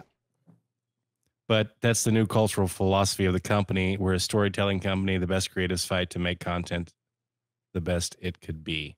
So he's basically saying 50 to 66% of the time, we're going to miss. Well, I have a theory. That's what he said. I have a theory. What? And the theory is this. As far as universes go, I think DC is doomed to fail no matter who's in charge, even James Gunn. I have no doubt that Superman's going to be good, but they just meddle too much in the overall product. I shit on Zack Snyder a lot, and I think his vision for these characters was complete, absolute dog shit. But I won't argue the fact that some of the issues with these films was Warner Brothers meddling. And that shit stretches back because when I was doing some research for the movie we're going to talk about here in a few minutes, They even meddled with this shit. So they've been doing this I shit for years, decades. Okay. Well, I mean, they've made some sound decisions, which brings me to the last piece of news here, which is more information than news. The question is, real quick, before you get onto that, does James Gunn have enough clout at this point to just be like, "Yo, executives, shut the fuck up and let me do my job and just give me money"? Well, Zaslav said he has uh, the most confidence in James Okay, Gunn. let's so- hope. And they fired a bunch of people. They got rid of the people that fucked it all up. So we'll see. But yeah, we won't know until we move forward. But Yeah. Um, on to the last piece. Um, had it not been for the utter disaster that is Batman and Robin, sorry, Marvin, Whoa. yeah, if we was- might never have gotten fuck going on? Chris Nolan's Batman. We may have never gotten it, Dan. Mm. I know. It could have not happened. I know. uh, Joel Schumacher had a script done and had already had a contract in hand about making a fifth Batman film Yeah. titled Batman Unchained. Yep. But Batman uh, and Robin was so abysmal that WB was like, you know what? No, we're just going to reboot this. Um, Mhm. So yeah, but uh, interesting. It was a. I guess it was going to be about Scarecrow and Harley Quinn, and the latter of which was reimagined as the Joker's daughter. So Harley Quinn is the Joker's daughter, and she's mad at Batman because he killed the Joker, Mm. and they were going to like m- capture Batman and make him hallucinate. So he'd see all the old enemies. So even like Jack Nicholson's Joker could have showed up in this movie. Like it would have been a culmination of Batman that we may not get gotten a reboot for Yeah. a while after because of Who- it. But who would have been instead, we got playing Nolan's Batman Batman, in this because Would have been fucking some fucking. maybe Michael Keaton would have made a comeback. Nope, he would have never, and we're gonna talk about it. But yeah, Yeah, finish up, finish up your news piece. But that's it. Yeah, no, it uh, it was. I thought it was interesting that I I was reading about uh, the script that he had written, and it was it was kind of an interesting story. But um, mm-hmm. you know, they wanted they the first one, you know, was a Batman Forever uh, was pretty good, but Batman and Robin was Batman Forever people was didn't like it. Marvin Marvin loves Batman and Robin, by the way. That's right. Batman Forever was based on a Tim Burton script, Right. Which again, Mm. we'll talk about in a second. But anyhow, that's it for the it up. news. All right. Yep. Give it up for Dusty. He gave you the news. Thank you, folks. Mhm. Well, I mean, thank you, Dusty. The folks. Same thing we do every week. you. Yep. Great news. Great news. good news, good news. So, everybody, once a month, Dusty and I take turns picking a movie that we think Marvin should have seen that he hasn't. And we call the segment Make Marvin Watch. This month Mhm. is Dusty's pick, and he chose thematically, as Dusty likes to do, Batman from 1989, directed by the great Tim Burton. Uh, there's probably no movie that better represents my childhood than this movie. Uh, I was fucking obsessed when I was a kid. Like, I'm talking, this shit would be on my TV every day. I'd be dressed up in my full Batman costume, standing in front of the TV, acting out the scenes and shit. yeah. Like, I Yeah, yeah. fucking love this movie. But This as movie we was great. as we try to do here, talking about old nostalgic movies like this, we try to put the nostalgia aside to talk about it as objectively as we can. Um, but uh, but yeah, so uh, as we said, directed by Tim Burton. There's a lot of fucking crazy stuff with this movie. Not really crazy, but just stuff that like you don't really know about because you know I didn't pay attention to shit like this from that long ago. Um, starring Michael Keaton, who will be reprising his role as the Batman uh, very soon. In fact, next month in The Flash, Oh yeah. Mhm. and uh, also starring the great Jack Nicholson as Joker, Kim Basinger as Vicki Vale. This has this movie has like a pretty star-studded cast it is. of actors fro- who were like big during that like that era of actors. Um, you got uh, Billy Dee Williams as Harvey Dent, Pat Hingle as Mhm. Commissioner Gordon, Michael Oh, yeah. Gough as Alfred, Jack Palance as as Boss Grissom. A lot of fucking people in this movie. Um, and uh, this is this is very much a year one Batman story, much like the Batman, which is if you go back to our first episode, that's the movie we talked about. Yeah. Yes, sir. Um, and yeah, he's very he's very much like a new Batman in this movie. The the city doesn't really know what to make of him. The police are after him. Right. uh, and he's kind of just doing his thing, uh, getting started on his war on crime. And you know, you don't really. I feel like looking back on the movie, you know, I never realized that he's like a newer Batman because Michael Keaton. I don't know how old he was when they made this, but he looks like a little bit of an older man. And when you think of like a year one Batman, he's like in his twenties or you know mid Mm. twenties. But uh, but yeah, and that's that's pretty much the plot. Is just him fighting the Joker essentially. Um, but it's more so like th- there's there's a bunch of other stuff too. Like Vicki Vale is a reporter. She's like a famous photographer, not famous, but she's a, a high profile photographer. She does like war photography from behind Right. the, the lines of war, and she's Mhm. like teaming up with this uh, local reporter played by Robert Wuhl, Alexander Knox, and they're trying to figure out Mhm. who the Batman is and what his deal is. So it's very cool. But the thing that I really like about this movie uh, stands out the most to me in terms of like it being a new Batman and this being like an origin of sorts. This is before the fucking concept of comic book movies really existed. It's like before this, you had Superman, which you've watched Yep. Mm. recently, Marvin Yeah. and uh you know the the the the um the template for what is a comic book movie didn't really exist yet so Right. Watching these movies now after we have fucking 12 years of marvel films at this point and like other things it's interesting to see the way just a director or a writer comes in and be like i'm just going to make a batman movie yeah. and what's most interesting about this one is that they don't they like specifically don't really tell you his like why he's Batman. But it plays like a central piece of his portrayal of Batman. And there's a quote by Michael Keaton where he talks about um you know, he he he feels that like uh, he he he really wanted to play like that duality of Batman, and I'm I I we've probably talked about this many times, but like Batman is probably the most interesting character in all of comic books because of that like like he's not like he's not a well guy. He's like unwell. He's like a psych not a psychopath, but he's not yeah. he has He's like issues. the DC version of Tony Stark, is what I compare him to. Like a no, billionaire philanthropist playboy that has a lot of toys and is Ye- great well, yeah, but he mind. Stark doesn't have the trauma. he has meant like he has well he has trauma with his dad, but different Stark, but Yeah. Right. but Bruce Wayne has like legitimate like mental health issues.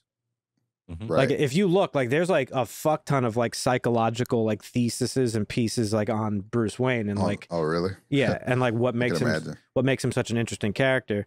But um Michael Keaton, I think, is like a great actor to portray that better than anybody else that has done it because he's a comedy actor. And Mm. when they cast him, um, much like the Superman casting, which we talked about when we reviewed that, uh, a slew of Hollywood A-listers of the time were considered to play Batman. Mel Gibson, Kevin Costner, Charlie Sheen, Tom Selleck, Bill Murray, uh, Harrison Yeah. Ford, Dennis Quaid. They were all names that were being Ford, oh my floated God. around. And as I was hinting at with Warner Yeah. Brothers meddling, uh, Tim Burton was pressured by Warner Brothers to cast an obvious action movie star, and they approached Pierce Brosnan. He had no interest in really playing it.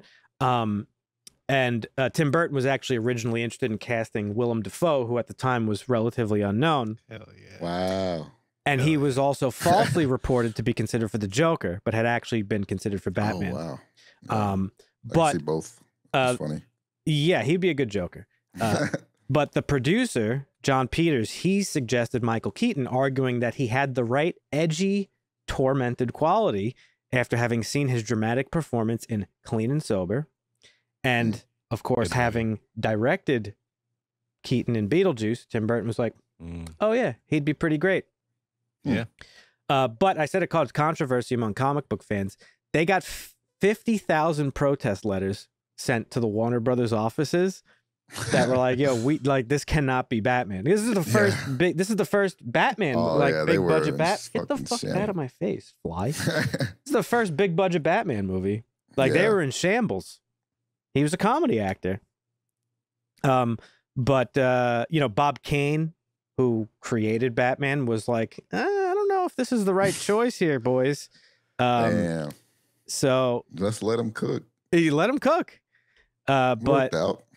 Yeah, but um, there's a quote here. Uh, obviously, there was negative response from the comic book people. I think they thought we were going to make it like the 1960s TV series and make it campy because they thought of Michael Keaton from Mr. Mom and Night Shift and stuff like that. And, uh, you know, Keaton studied the Dark Knight Returns comic book for inspiration for the role. But I think that background as a comedy guy really made him play the character uh, very well because as Batman, he's like very brooding and like doesn't talk very much, and and he's like it's like a darker Batman, and that's a lot of okay, that's a lot of like Tim Burton shit too. Yeah. But Yeah. as Bruce, he he plays it in like a comedic way. Yeah, that's Uh, true. I don't get a lot of the vibes of him being very like uh mentally I don't really see any of those mental health issues portrayed in his character when I Because he just buried him down deep. Well, yeah. Never I talked mean, about him. Yeah. I get that. It's just like weird to like are you talking about in Batman in general or in his portrayal of it? his portrayal. Well, I'll give you an example. So he's very hesitant to form a relationship with Vicki Vale. Mhm. Mm, is he? He kind of Yeah. just smashes her like immediately Well, almost. So he I don't know. I smashes, feel but like, he regrets I feel like a, that's true. and it's not just because like ah I'm fucking busy I'm Batman. It's because like he has like very serious intimacy issues stemming back Sure. to his parents being killed. Yeah. Um, similar to what we said about Rocket, like you're afraid to get close to people because you lose Yeah. them, right? right. Um, and and like that's explored in this movie heavily. Like she says to him, like, "Oh, why, like, why won't you let me in?" He's like, "I did." Um, Mm. and there's like all these. It's not like super explored, but you get the gist Yeah. of it. At least I did. Um, I got the gist. but the comedic aspect of it, um, you see that a lot because when he's every when he's Bruce Wayne, he's like way more like lighthearted than any other Batman like movie Yes. uh, as Bruce, especially in the scene. Like, Mm. I love the scene when they're at his party and they're like looking at his statues, and he's just like kind of fucking with Knox, and he's Yeah. like, he's like, this is the king of the Wicker people. He's I- like, I bought it in. I bought it in Japan. he's like, he's like, "That- that's Japanese. How do you know? He's like, that's where I bought it. yeah. Um, and then a really funny scene too. Oh, and when he's walking out, he goes to Alfred. He's like, he's like, uh, he's like, uh, Yeah, bring out some him a more bottles of champagne, and oh, uh, give give Knox a grant. So that that, Yeah. that was like very like kind of like Tony Stark esque. And um, the other really funny see it, yeah. scene was when she was over for dinner and they're sitting on that giant table yeah. and they're just like Yeah. yelling back and forth at each other. That that's a very funny scene.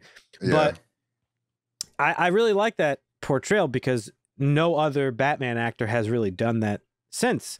Um, Christian Bale played it like very playboy billionaire, like this, very playboy. like, this is very the- much playboy. like this is the ruse I'm putting up. Like people cannot Yeah. know that I'm a Why vigilante don't you by go, night. go take a bath in the fountain? Yeah. Like the Uh, come on. sir, your guests uh, can't be in the fountain. He's like, all right. He just cuts a check Yeah. and buys the hotel. Like, and then and you know, uh, Robert Pattinson played it as just like an emo kid, weird fucking like Mhm. emo thing that I didn't really care for. that felt more like for me it felt more accurate of someone that's like has a lot of trauma from seeing their parents murdered in front of them Yeah. Uh the Gen Z version just, i of feel that. like i mean i guess i feel like anybody you wouldn't just be able to No, especially you- not and especially not year one of you doing this vigilante thing i feel like i don't know well, that's the thing. It's not something you easily get over without like years of therapy, and you never Yeah. get over it, but you learn to like live with it. But this is, but the No, reason why don't. Batman is such an interesting character is because like this is his way of dealing with it is like putting on this Yeah. other face, basically having this. Like, there's a lot. I think we've talked about this before, but like Batman is his real identity in this case, not Bruce Wayne. Where other heroes, it's like Peter Parker's the real guy. Um, Tony Stark is the real guy. Like their hero personas are the personas, right? hmm But Mhm. but Batman is specifically like his true identity. Like when he puts on the the cape and the mask, like that's who he is. Bruce Wayne is very much like the facade. And I think Mm-hmm. i that see out of all the Batman actors, I think Christian Bale played that the best because when he was Bruce Wayne, he was like very much putting on a show, putting on a show for Rachel and putting on a show for like the board members and this and that. Like Alfred was the only one who really knew what he was going through. Um, Right. But but I do like the the comedic edge that Michael Keaton brought to the role. And I'm just gonna say it. I still think Michael Keaton's the best Batman, live action Batman. Dusty and I agree that uh, what's his name is the best Batman. Mhm. Um, Conroy, Kevin, Kevin Conroy. Conroy. But live Mm. action, it's got to go to Michael Keaton. I think his Michael Batman. Keaton. Yeah, I think his Batman was the best. Um, I would have to see more of the Batmans again. I think, but I mean, you've seen the Nolan trilogy, mean- obviously, right? yeah, it's been a while though. Um, I don't know these fight the fights. I, it is dated, so it's like it's not like hmm I don't think I it's don't very know. dated, to be honest. I'm glad you brought that up because I made it a point. I wanted to talk about it. I I mean, it is and it isn't. You get some great use of gadgets and toys, and Where you get does some he get great those use, some great wonderful prop. toys? Yes, it's Yeah. like, and even like the Joker, the flower. You know, like the Joker's toys was even amazing. And you get like you get homages yeah, in the thought the like the Joker Nolan great. Batman when uh, Heath Ledger's like, you know, let me show you a trick and make the pencil disappear. Yeah. Like that's a shout out to the buzzer that Nicholson used. And this guy is like, I'm going to show up and just kill somebody to make a statement. Like, right. I don't think that this movie. I think this movie holds up very well in comparison does. to Mm-hmm. newer movies. There's a little bit of CGI in this movie, mostly for like the backdrop of Gotham and some of like the flying scenes and stuff. But it, it it's never really like super noticeable that it's like old school technology. Like it is because you know it is, but like it's Yeah. passable, right?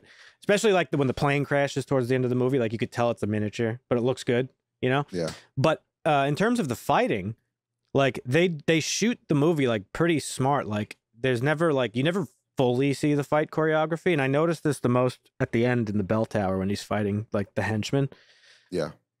and like they never really show you punches being thrown and stuff. They show you like the start and end of an action. Mm, Like yeah. you see him like winding up for a kick, and then it cuts to the guy flying through the thing. Right. So it works really well and I think holds up because it's not, you know, it doesn't have to be, there's nothing crazy going on that has to be done Yeah, with. CGI or any of this other stuff. yeah. Um, I was actually pretty surprised at how much this held up because I haven't seen it in many years, but again, I've watched this like so many times in my life. mhm. But I was I was very surprised at, at, at how well it, it held up. Um, I actually didn't watch it much this time around. Uh, I was roaming around the house doing chores, so I was just listening to the uh, Mm. conversations. But I would check in and watch some of the good scenes. But it was interesting just listening to the uh, the dialogue. It was fun. so you It thought it was fun- you felt dated watch. to you, Marvin? Felt a little dated to me. Yeah. Was there anything that really like stood out to you where you were like, ah, fuck, I don't like this? Um.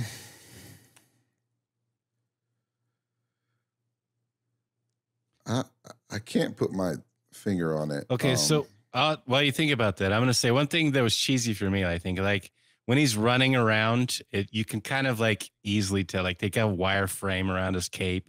Like the cape is like popped out. Like it- There's the one there's a couple of scenes where he's running around with it. He's got to you got to have the cape popped out so it looks cool, but it also kind of looks cheesy with the effects they were using. There's times but it's kind of like Tim Burton type stuff Yeah. melded in with just the technology they had at the time. right. So I can see how you would think some of that stuff is dated, but I, I, I mean, I don't know. I There- thought it. Um, there's also times where you could like very clearly see that it's like not Michael Keaton in the mask. yeah. And it's on weird scenes too. And I noticed this uh the scene in the alley where he's fighting um the ninja guy who's doing flips.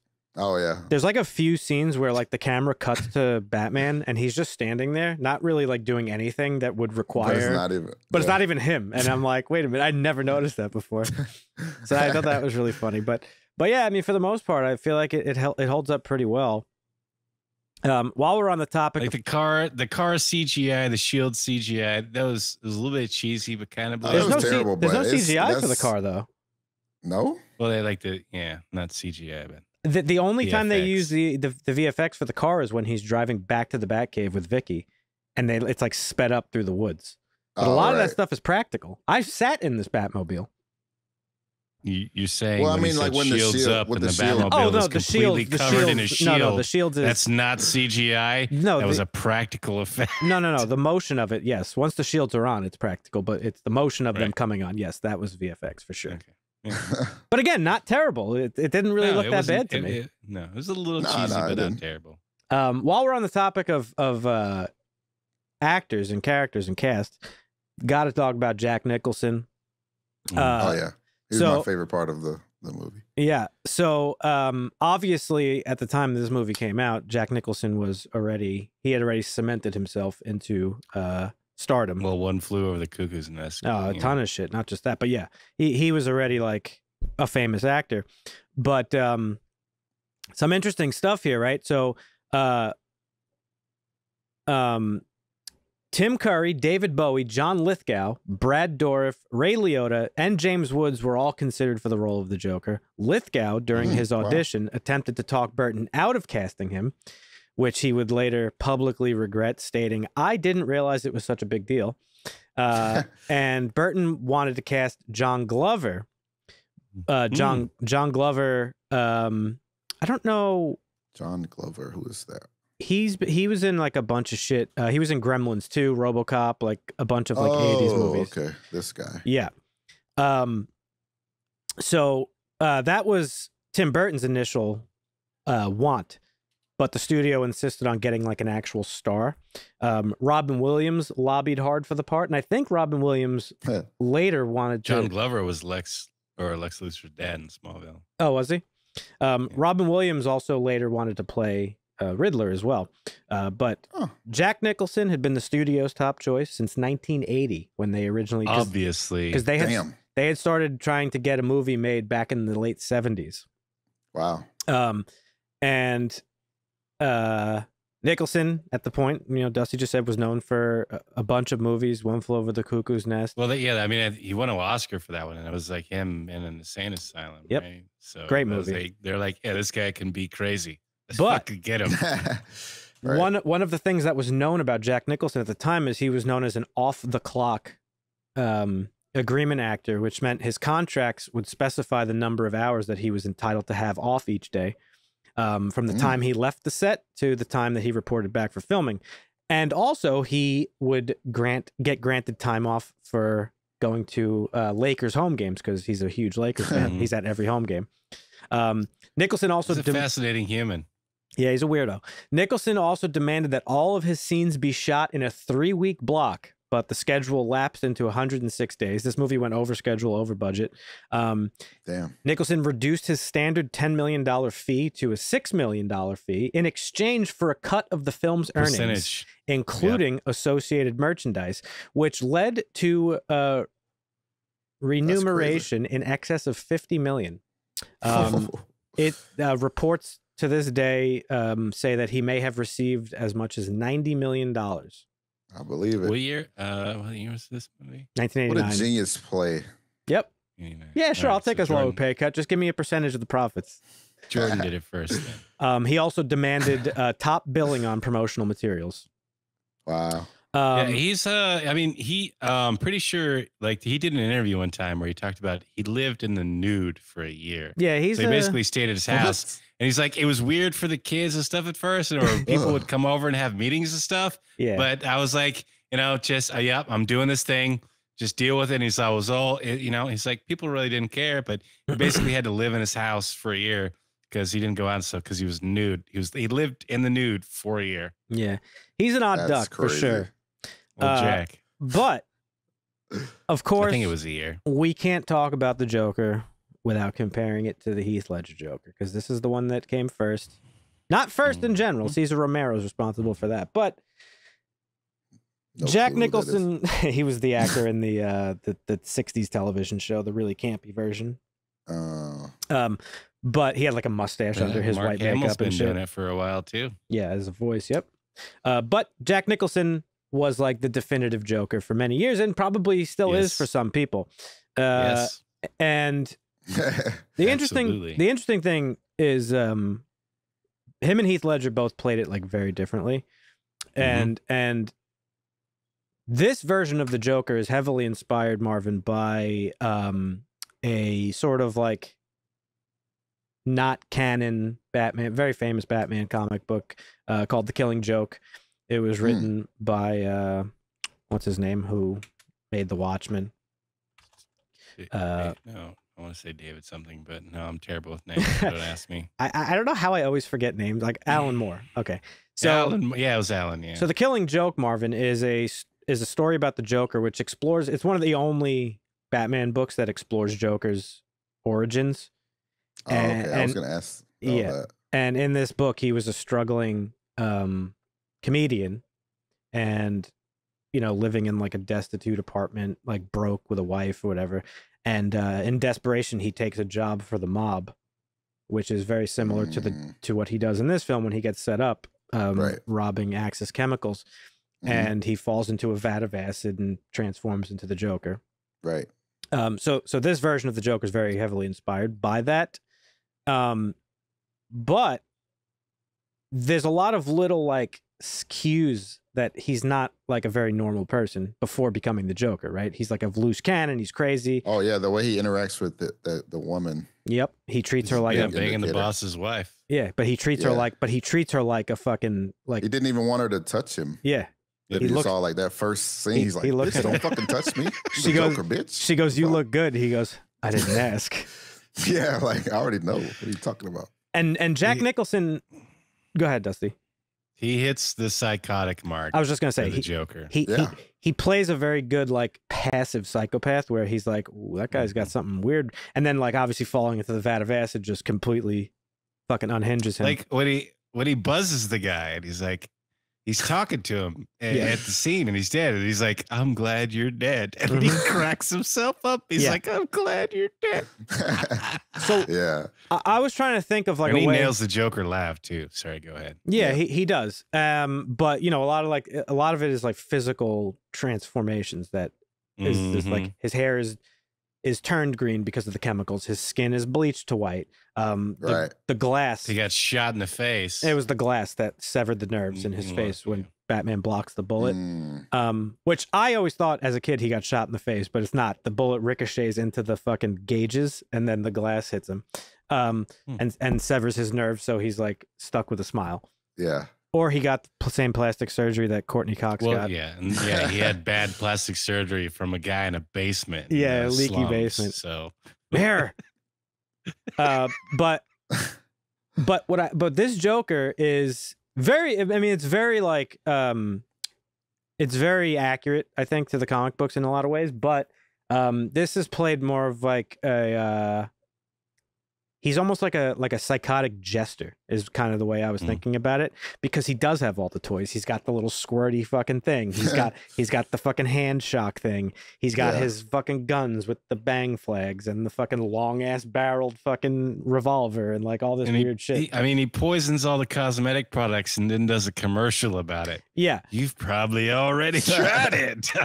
Go Yeah. fuck yourself. It's- that was so funny. Like they cut, they found out about people dying, and then they cut to the two news people, and they haven't Yeah. used any products because they're Mhm. so afraid. oh yeah, Yeah. That shit was so funny. Blue, yeah, So he's he's like very comic book accurate and Yeah. uh, also plays the psychopath Mhm. really good. Um, Yeah. But comparing it to Heath Ledger's Joker, as we all know, Heath Ledger took a very different approach, which is like that of a actual legitimate deranged psychopath, right? Right. Um, less Jack Warren teeth. When he took the role, he said, "Don't go too deep," and it feels like he did.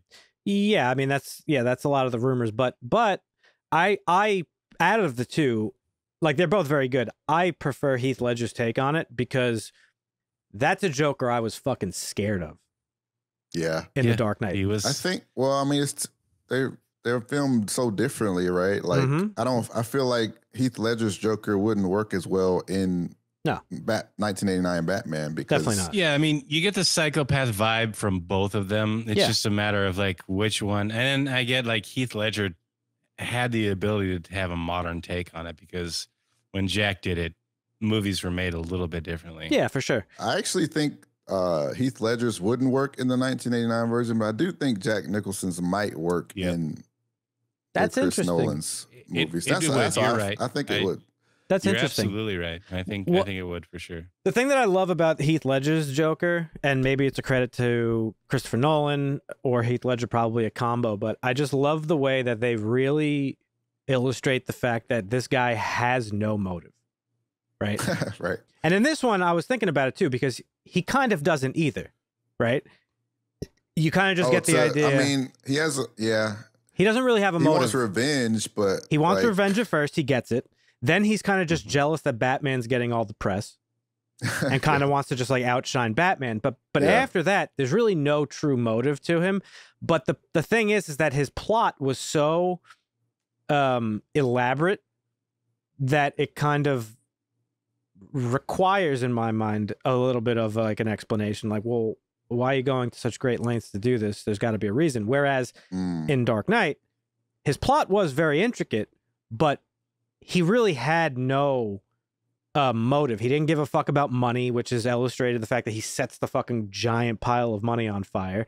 right. he That doesn't- was Alfred's story about the jewel thief Yeah, in the jungle. You he's know, some just people a- just want to watch the world burn. He's ju- Joker's just an agent of chaos, right? Mhm. Um, Yeah. And if he does have any motive, his one true motive is just to fuck with Batman.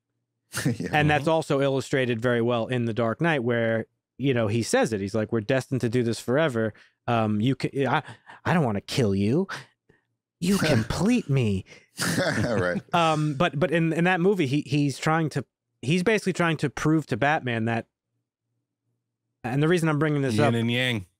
well the duality right this is the reason i'm bringing it up is because in the dark knight the joker understands very well that batman is just like him he's just one and this is where the killing joke comes in because the ultimate thing in the killing joke joker's plot in that story is to just prove to batman that everybody is one bad day away from being him right in Yeah. the killing joke he's fucking with commissioner gordon and like trying to bring commissioner gordon to the breaking point. and in the Mhm. dark knight he's trying to bring batman to the breaking point he wants to die to batman specifically to prove that like you're not any better than me just because you have your Mhm. one little rule Right. Don't talk like them you're not them right? He there's, a lot of that. And in this movie in in this batman there's not really a lot of that but there there still remains that like that duality where it's like you kind of get the idea. It's like oh batman is pretty much the like they're the same people right? Yeah. um it's just that batman is like he's the hero. But and that brings me to my next point and the next character which not many people would consider a character and that is gotham city itself Oh, and, yeah. And I think we talked about this again when we talked about the the Batman. But Gotham City is very much a main character in these stories. Um, Yep. And I fucking love the portrayal of Gotham City in this movie. And it's ve- obviously it's all Tim Burton. It's like the most Tim Burton shit possible. It's like all this fucking giant gothic It's architecture and stuff. Yeah. very Doesn't very even good. look like. Uh, I don't Yeah. even know how I would describe it. well they well they shot it in london that's one of the reasons why i was excited about the batman when it came when it was first announced is because um the nolan films were shot in chicago and like you watch it it's Mm. like oh that's chicago clearly like yeah. very Or it's uh, America at least. yeah very modern like glass buildings and all that stuff right. very clean city whereas when when they announced the batman they were like oh we're going to shoot in like a bunch of different locations and the reason they wanted to do that is so that you don't get the sense of an as an audience member like where this is being shot Yeah. um, this was primarily shot in London and a on a bunch of sound stages, but it has very Tim Burton like uh, aesthetic to it. Again, gothic It does. architecture, like Yeah. um, Yep. gargoyles and fucking hmm you know perpetual night. yeah. Right. Um, But uh, I stumbled on this article written in a uh, architectural like blog thing. And uh, they made some interesting points that I wanted to talk about. So uh, there's a Batman comic book called The Destroyer, and it's from 1992.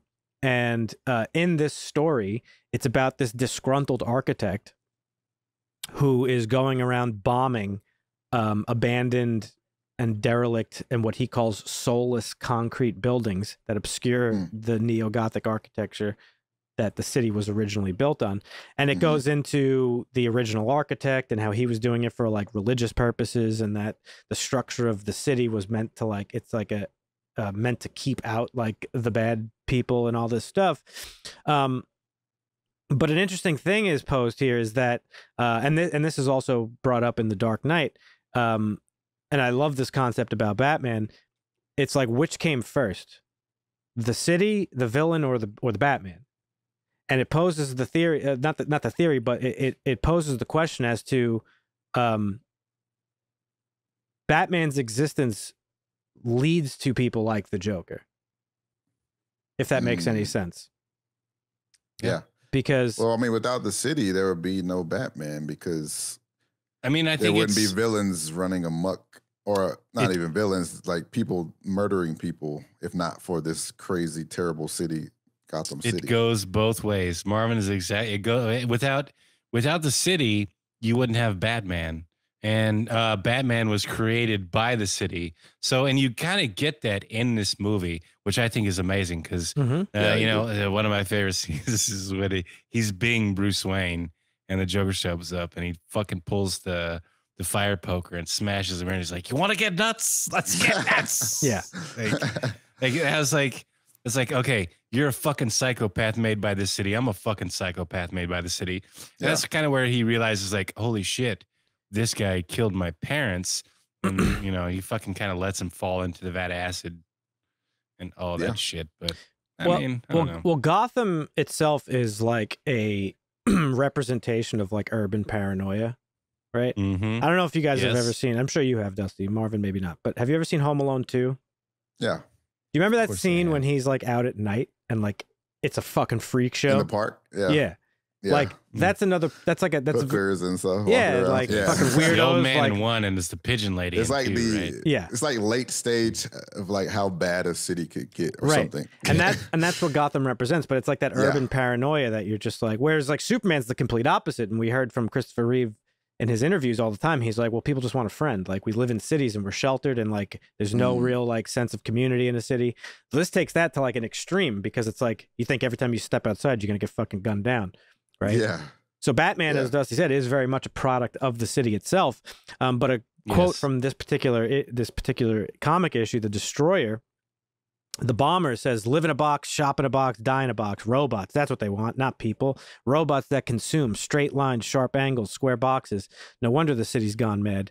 And um, Mhm. and then Batman's quote, as he's uncovering this guy's motive, he says, uh, as he's seeing the buildings that are revealed from the ones that are being destroyed, an older city of improbable curves and angles, a city forgotten that had been overshadowed and buried, suffocated by the towers of the 20th century.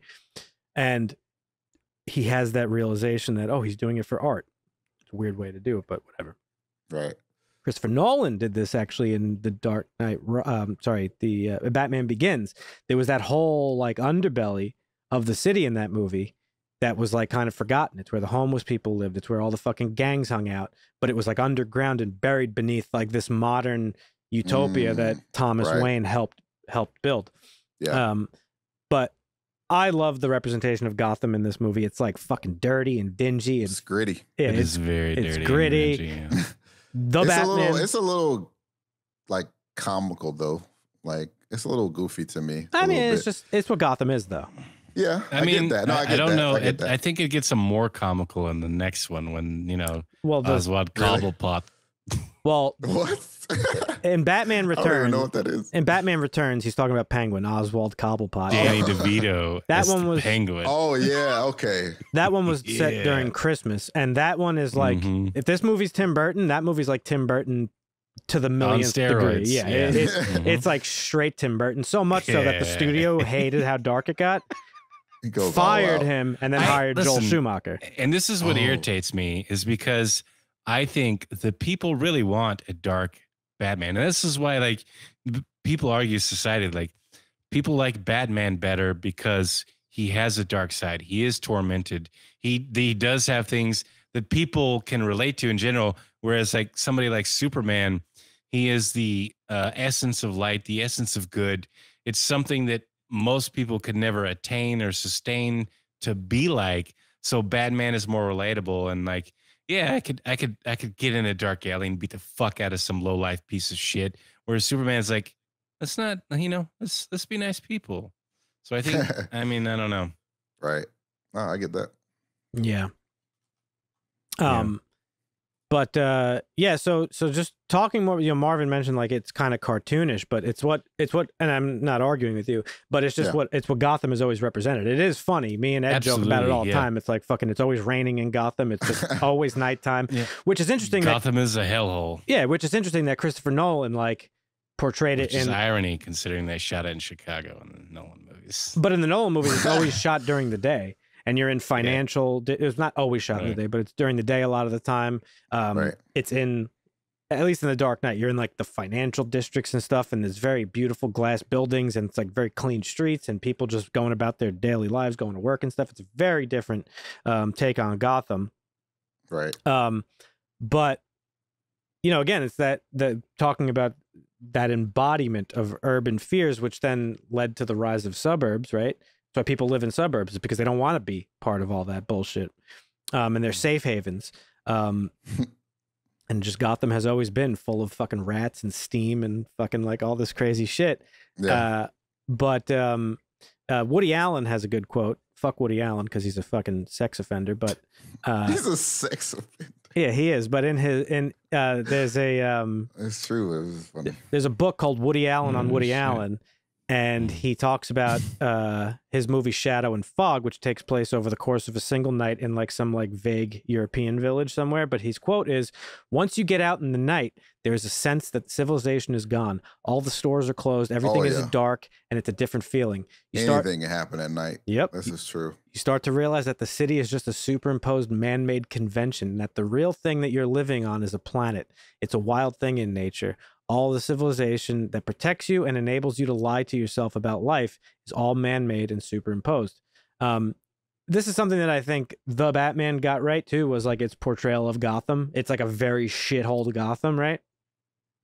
Um, and in Nolan's movies, like to his credit, in the first one, it was a shithole, but it was because of Batman's intervention that, like, in the second movie, Gotham is framed as like this bright and like, you know, prosperous city at this point because Batman like fucking beat up all the fucking bad guys, right? Right. Um, but yeah, I just love uh, just everything in Gotham in this movie, and it did go on. Like Dusty said, it, it does inspire the later films uh, in this in these four movies. Um, the second one is like very, very, very, very, very Tim Burton esque. Uh, if you haven't seen it, you should watch it. It's a good, it's a great movie. But the studio hated it. They fired him. They they took him on as a producer instead. Hired Joel Schumacher. And as I mentioned it earlier, that's actually w- so. Michael Keaton dodged the question as to why he stopped being Batman for many years. It was later on that he would come out and be like, "Well, um, a, I didn't really want the responsibility of playing such a big character. You have to go to fucking Mhm. conventions and all this bullshit and do signings. He didn't really want to deal with that. Um, also, he did not agree. He was originally going to do the third movie, Batman Forever, but he didn't really agree with Joel Schumacher's direction on stuff because Joel Schumacher wanted to do the more campy, um, cartoonish Batman because the studio wanted to step away from the Tim Burton vision. Clooney nailed it. Um, and then also, you know, he just he liked Or working with Val? Tim Burton, so part of his forget. Val Kilmer was Batman Forever. Yeah. Part of his decision was like, you fucked over my boy Tim. I'm not gonna, like, I'm not gonna be Yep. a part of this. Mm, okay.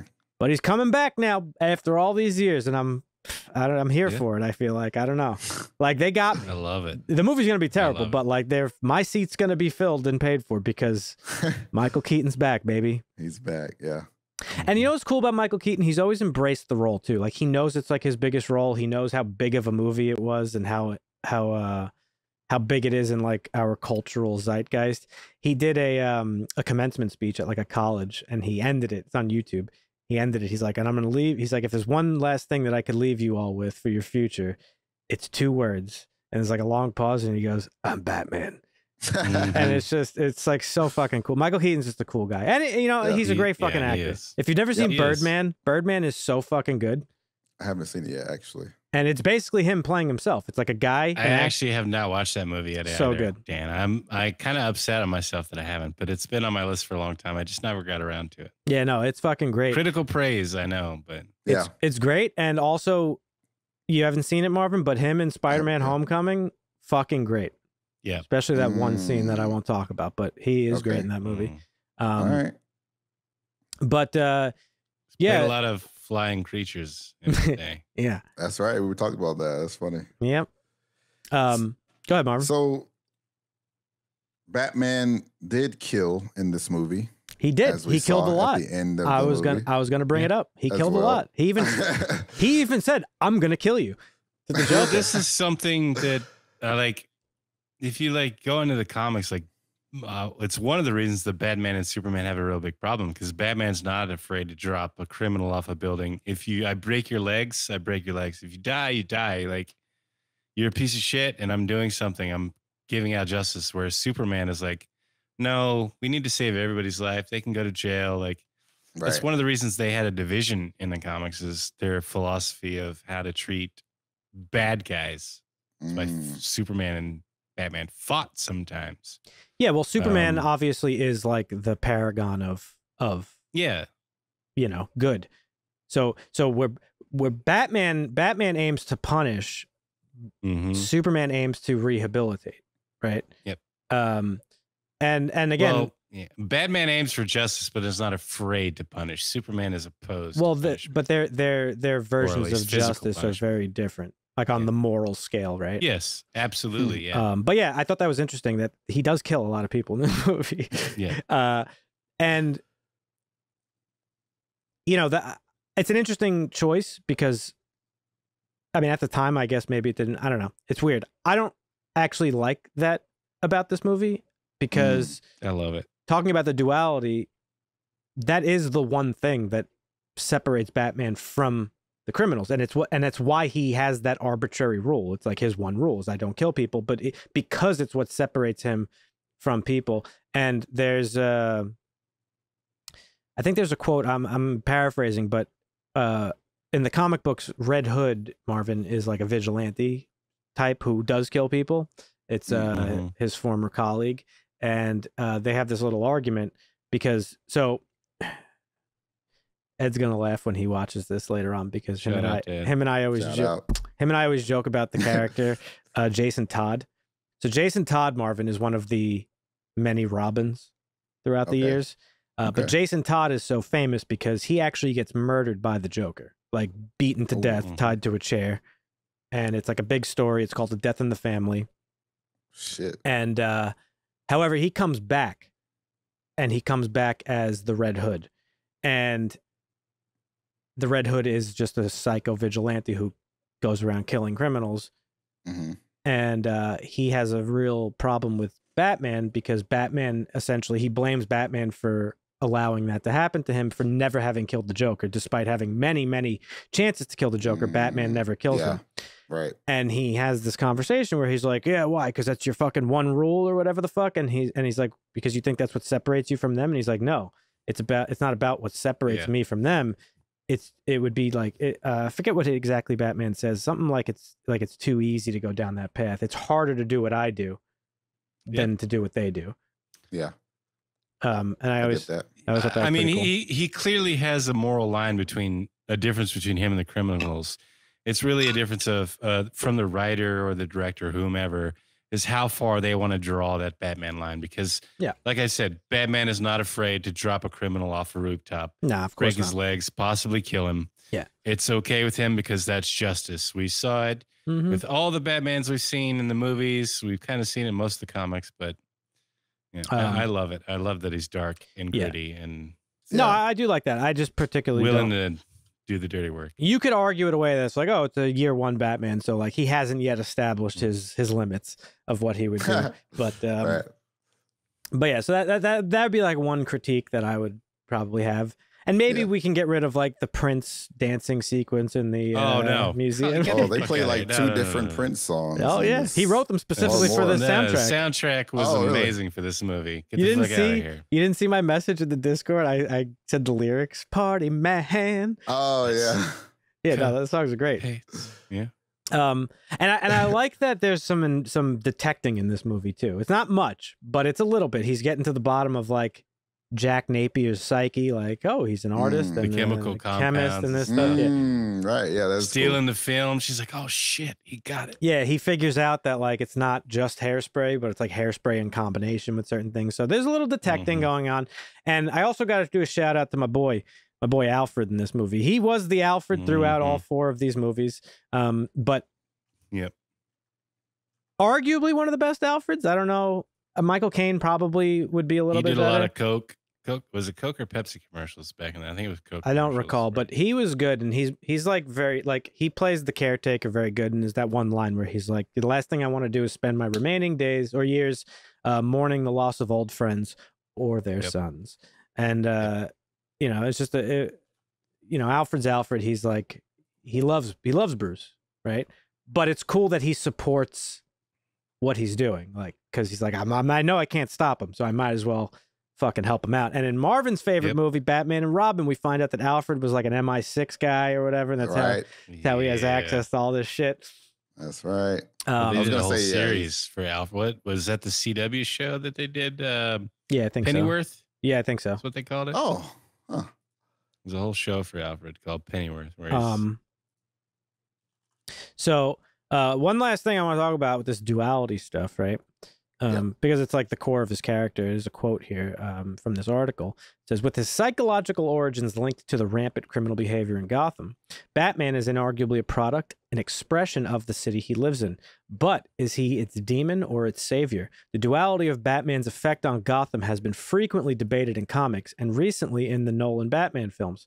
Despite his noble intentions, it's entirely possible that Batman is in fact one of the major causes of Gotham's problems. That's what I was talking about earlier. In mm, dressing up as a bat, he may have succeeded in instilling a primal sense of fear into the citizens of Gotham, but he's also inadvertently inspired a new breed of criminal.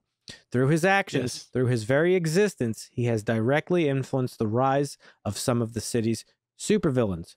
And Batman Begins That's true. Batman Begins goes into that when he talks to Jim Gordon. Gordon says, "What about escalation?" He goes, "Escalation." I don't agree. We start actually carrying. that at all. You don't? Go ahead. He no. Hit me with the argument. Go ahead, Marvin. Go Go ahead, ahead, no, Marvin. the- okay, I, I okay, was gonna um, say. I'm gonna say yeah, go what. I'm gonna Uh, say is a criminal's gonna be a criminal. Yeah. a criminal's gonna be a criminal. So if if justice meets that criminal with a more fierce justice, a criminal is obviously going to escalate to a more fierce criminal. Criminals are always going to criminal. If it's easy for them, uh, they're going to make it easy for themselves. But if somebody makes it difficult, they're going to start getting more drastic. So, uh, uh, yes, he did create them in a sense, but th- they're always going to be that way. Like that's the that's just the inherent nature of a criminal. Is my argument to that argument. Well, it's not that it's not that Batman created criminals. It's that he he heightened the the severity of them. Um, because Correct. like you he said, they're- scared all the minor league criminals Right. until the bigger league criminals would come out and say, "Oh, I'll I'll dance with you," and he's like, "Okay, I'll fuck you up too." and don't forget, Vision True. poses this question in Civil War to the Avengers. He's like, perhaps our very existence gives rise Invites greater danger. invites yes. greater enemies. Yeah. What For were you gonna say, Marvin? Yeah, I was gonna agree. I, I don't think uh, the existence of Batman made Gotham as bad as it is because it just No. is a shit city and it just naturally got that bad. Because Yes. I don't know. I mean, where's the corruption. army at? I don't Yeah, know. Where's the Batman, it army at? corp- corporate and But, government uh, corruption. Let's be honest yeah, with the problem with the there you city go. here. Yeah, Come on. but I do, I do, I do at? agree that Batman created or helped foster the creation of the more powerful villains. Right. So, uh, yeah, it's like where you know where would the city like yes, the city sucked before Batman, but where Yeah. may it have gone without Batman's intervention? Who knows? That's the question Yeah. for the ages. So that's why I said earlier, Mhm. what came first, the, the chicken or the egg, sort Yeah, of thing, right? Mm, Yeah. yeah. Um. So yeah, I mean, we got all the Batman stuff out of the way. Obviously, we got to talk. We can't talk about Batman and not really deep dig into the psychological elements of it. But oh yeah, Did you like the movie, Marvin? I did. I enjoyed it. It was great. okay, Big fan. First um, time watch. where would you First com- time watch. So I'm I I'm gonna have a hard time rating it. We're not ready for it yet. I think the movie's great for all the reasons I said. I think Tim Burton's vision for it is great. It like perfectly suits Batman. I think all the acting is fantastic. Oh, Shout yeah. out to Kim Basinger, love her. Um, Hmm. like. I, I just think I mean it's an all around great movie. It's not like campy like you would expect for like an '80s movie or or anything like that. Yeah, surprisingly, it wasn't. um and and i and and and obviously it had a significant impact on uh culture in general because it, it influenced a lot of batman stuff that came after it it's directly responsible for the very highly app- applauded nine, um, Batman the animated series with Kevin Conroy. Mm. It's the Mhm. inspiration for a lot of video games and comic books, and like this version of Batman became like the definitive Batman for probably still is to this day. Um, so you can't take that away from it. Um, I had very little things that I could pick from it. Like I didn't. There was nothing really about it that stood out to me. I was like, ah, this kind of sucks. This kind of sucks. This kind of like there really isn't anything. Yeah. Um, so yeah, no, I love this. I love this movie because it wasn't an origin story per se, like n- modern day superhero stories. You're like, oh, mhm. we got to tell the origin. We got to tell the origin. Yep. Fans already knew. You don't, and that's why, like, I get hung up on sometimes of we don't need a goddamn origin story. Yeah, sure, it's cool sometimes, but let's just let's just get into the depths of this character. Let's find out what makes him tick. well, let's find out. You know, that's what I love about this is yeah, because you do get some backstory, you know, find out, you know, oh my God, I created the Joker. Before I created the Joker, he killed my parents. right. And, you know, so there's a lot of like depth into the backstory, but I created you. It's you not an created origin me story. first. right. Mm, Um, well, that's true. So I touched on it a little bit earlier, and I was using this the talk about Gotham to sort of segue into it. So I'm glad you brought it up. But um, Mhm. it is and isn't an origin story because of the. It's not because of the fact that they never like outwardly be like, oh, he like, was already Batman. they don't show you like him making his suit. They don't show you like Mhm. training. They don't show you his his parents dying for a Yeah, large you're portion of the movie. Bobby Pattinson fucking Um, wearing sweatpants and shit. And in fact, the the uh, writer specifically wanted to frame his origin as like sort of a mystery, and that's one of the things that I think was really cool about this movie. Again, being Yes. before the template for superhero movies came to be, um, it's presenting you a story that you probably know, right? At 1989, Batman still was Mm-hmm. everybody knew. Batman. right? You know his parents were killed. You just that and the other thing, but it but it's Everybody still knows Batman. Stop making origin stories. it's still showing you these things that you know in a smart way where it's like um it's show it, it's like it's pretending you don't know but not shoving it into your face like it's part of the plot really it's like very much part of the plot whereas in other batman movies it's like the central thing like batman v superman starts out with like his parents getting shot it's like well, why do we need that in a batman v superman movie um Right. Nolan's trilogy, I think the origin works because it's a very it's it's very central to that trilogy and his arc in that trilogy. It's like I'm living with this guilt.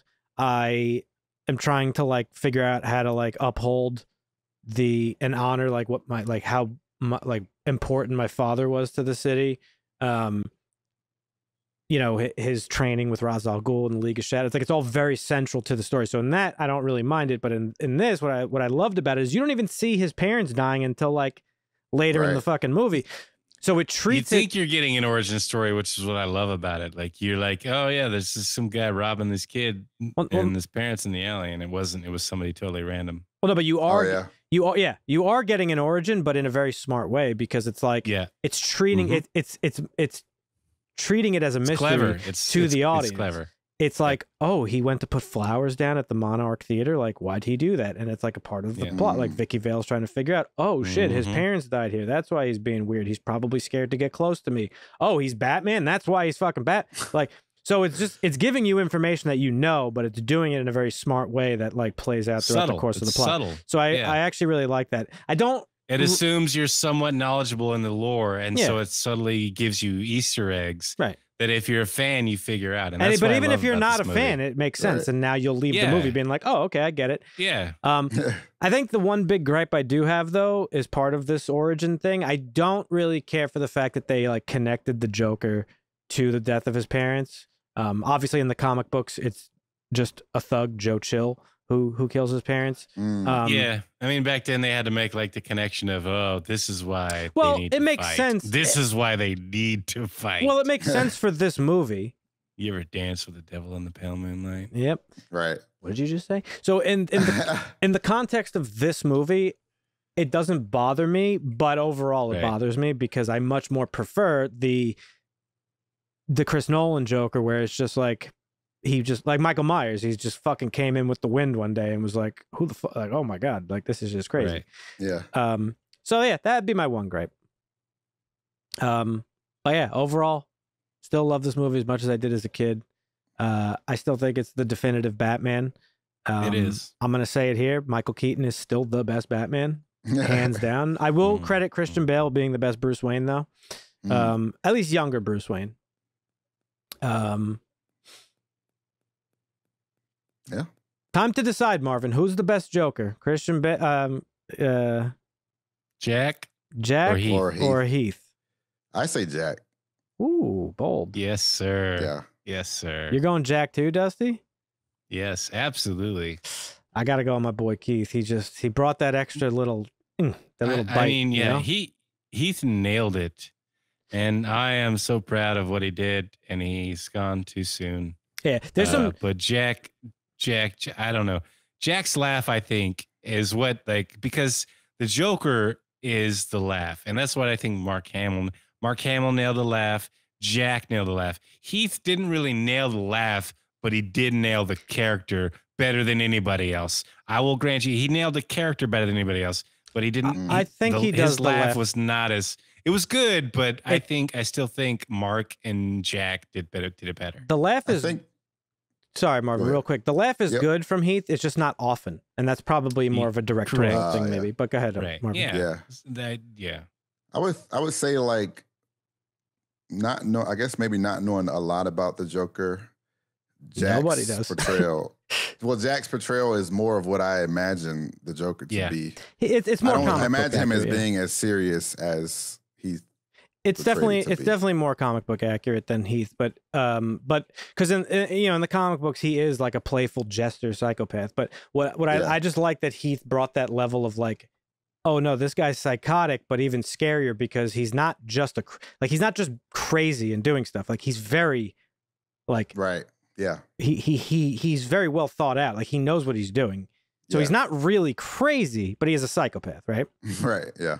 Um, Yep. what what what gives what gives Heath the edge for me is the little nuances he brought to the character, which were like the licking of the lips when he was talking, like the, Oh yeah. Yeah. the yeah. little ticks and twitches and Yeah. and just little things that you maybe not notice the first time, but when you go back and watch it, it's like, oh man, he's I fucking think Jack selling did it. some really psychotic scenes with the Joker really well, but I think Heath Heath pushed the envelope, and that's what I was saying. Yeah. Is like Jack Jack called Heath and said, "You need to be very careful with this character," and this basically the character killed him. Yep.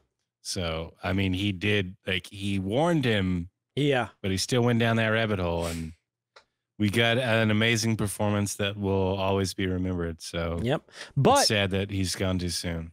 you know, gotta go again. Everything's credited to this movie. Everything.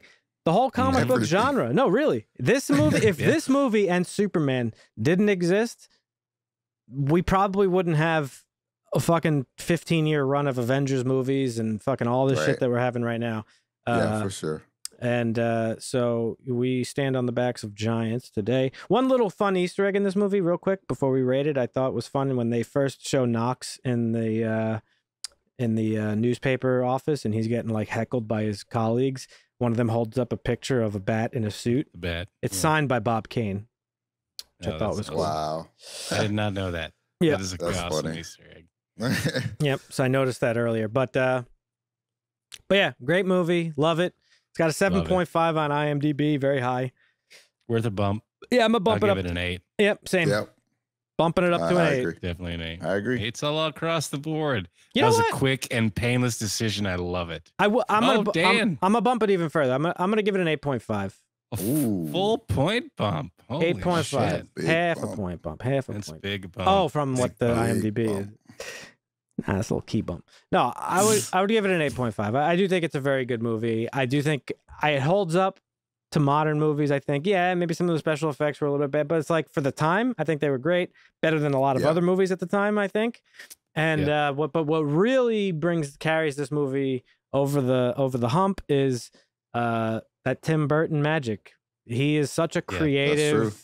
He is so creative. He is such a Love Tim creative guy. I love his like macabre, fucking like dark horror esque vision that he has for his things.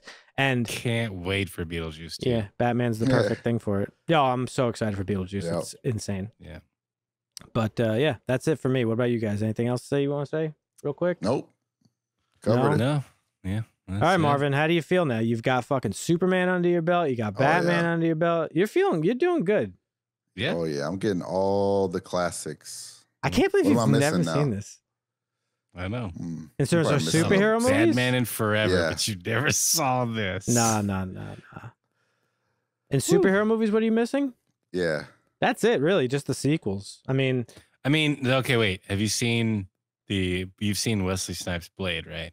Yes. Yes. I think you should watch Batman Returns maybe someday on your own, or we could talk about it here. But it's a very good movie. okay. Um, I think it's a great movie. It's just, it's just an elevated Tim Burton. It's like Tim Burton with like free reign.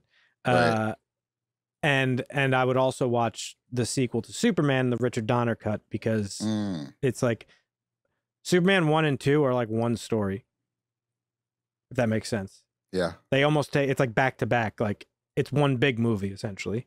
Oh, okay. That's good. So worth a watch. But yeah, otherwise I think you got it covered. Nice. Still got plenty of horror movies for you to watch though, Marvin. Oh God, yeah, that's Yeah, true. plenty of westerns too. Have Dan. you seen Beetlejuice? yeah, I've seen Beetlejuice. Been a long time, but Speaking of westerns, Dusty, did you see the scathing comment we got from an Oh, yeah. Australian guy who was like critiquing the shit out of us? For what did they call them? They said they're called Longhorns or something. What, what I do don't they know. call them? He was correcting The you steer? and us and like Cardinals. What, oh, what I do have they call not seen the recent comment. I have to go look. it at wasn't recent. It was a while So- ago, but it just reminded What me. What are of it. westerns called in Australia? I can't remember. Anyway, it was he was not happy. Let's just say that. Um, so that was funny. But uh, yeah, we got plenty of horror movies for you, Marvin. You've seen Beetlejuice, though. yes. Okay. Are there any other Tim Burton movies you have seen? Any other Tim Burton movies? Have Uh, seen- Yeah, yeah, I've most of seen, the shit is animated. After I've that, seen Edward Scissorhands. Is that Tim Oh. Burton? Yeah, yeah. That's big. that's big Um, for you, Marvin. Nightmare I've Before Christmas. Nightmare Before Uh, Christmas? I don't. I haven't really seen that. I don't think. Mm, Okay, maybe next holiday season we got to toss that that's a in. good one. That is I'm a looking at Tim one. Burton movies. Um, I love Sweeney Todd Okay. personally. Anytime, yeah. Um, what Old else? Jim Carrey. Uh, Charlie or um, Charlie and the Chocolate Factory. yeah. Have you seen Big Fish? Uh, the original is better. I haven't seen Big Fish yeah, the or original. Mars Attack. the original Chocolate Factory is better. Mars Attacks Willy is Wonka's so good, better than Charlie and Chocolate Factory. Yeah. dude. Mars Attacks is so good. I forgot about that movie. Mars Attacks is amazing. um, Big Fish is one of my favorite movies like of all time. So fucking good. Huh. Yeah, so good. But uh, yeah, big big Tim Burton fans All over right. here on the Harsh Yeah, Language Big podcast. fans. Oh yeah. Alrighty, so that'll do it for us this week, folks. Thanks for hanging out, Mhm. listening, or watching wherever you might be. Yes. Leave a comment. Let us know what you think of Batman, how it holds up today. Let us know who your favorite Batman actor is and your favorite Joker. Uh, Oh yeah. That's gonna start Yes, a please. war. actually, let's put Comments. out up. let's put out a poll for who's favorite Batman. Marvin, who's your favorite Batman? I know you don't have as much history with it, but Favorite Batman. Um, seeing as my favorite Batman movie is Batman and don't Robin. you can't say it. No, George Clooney. Is no my favorite way.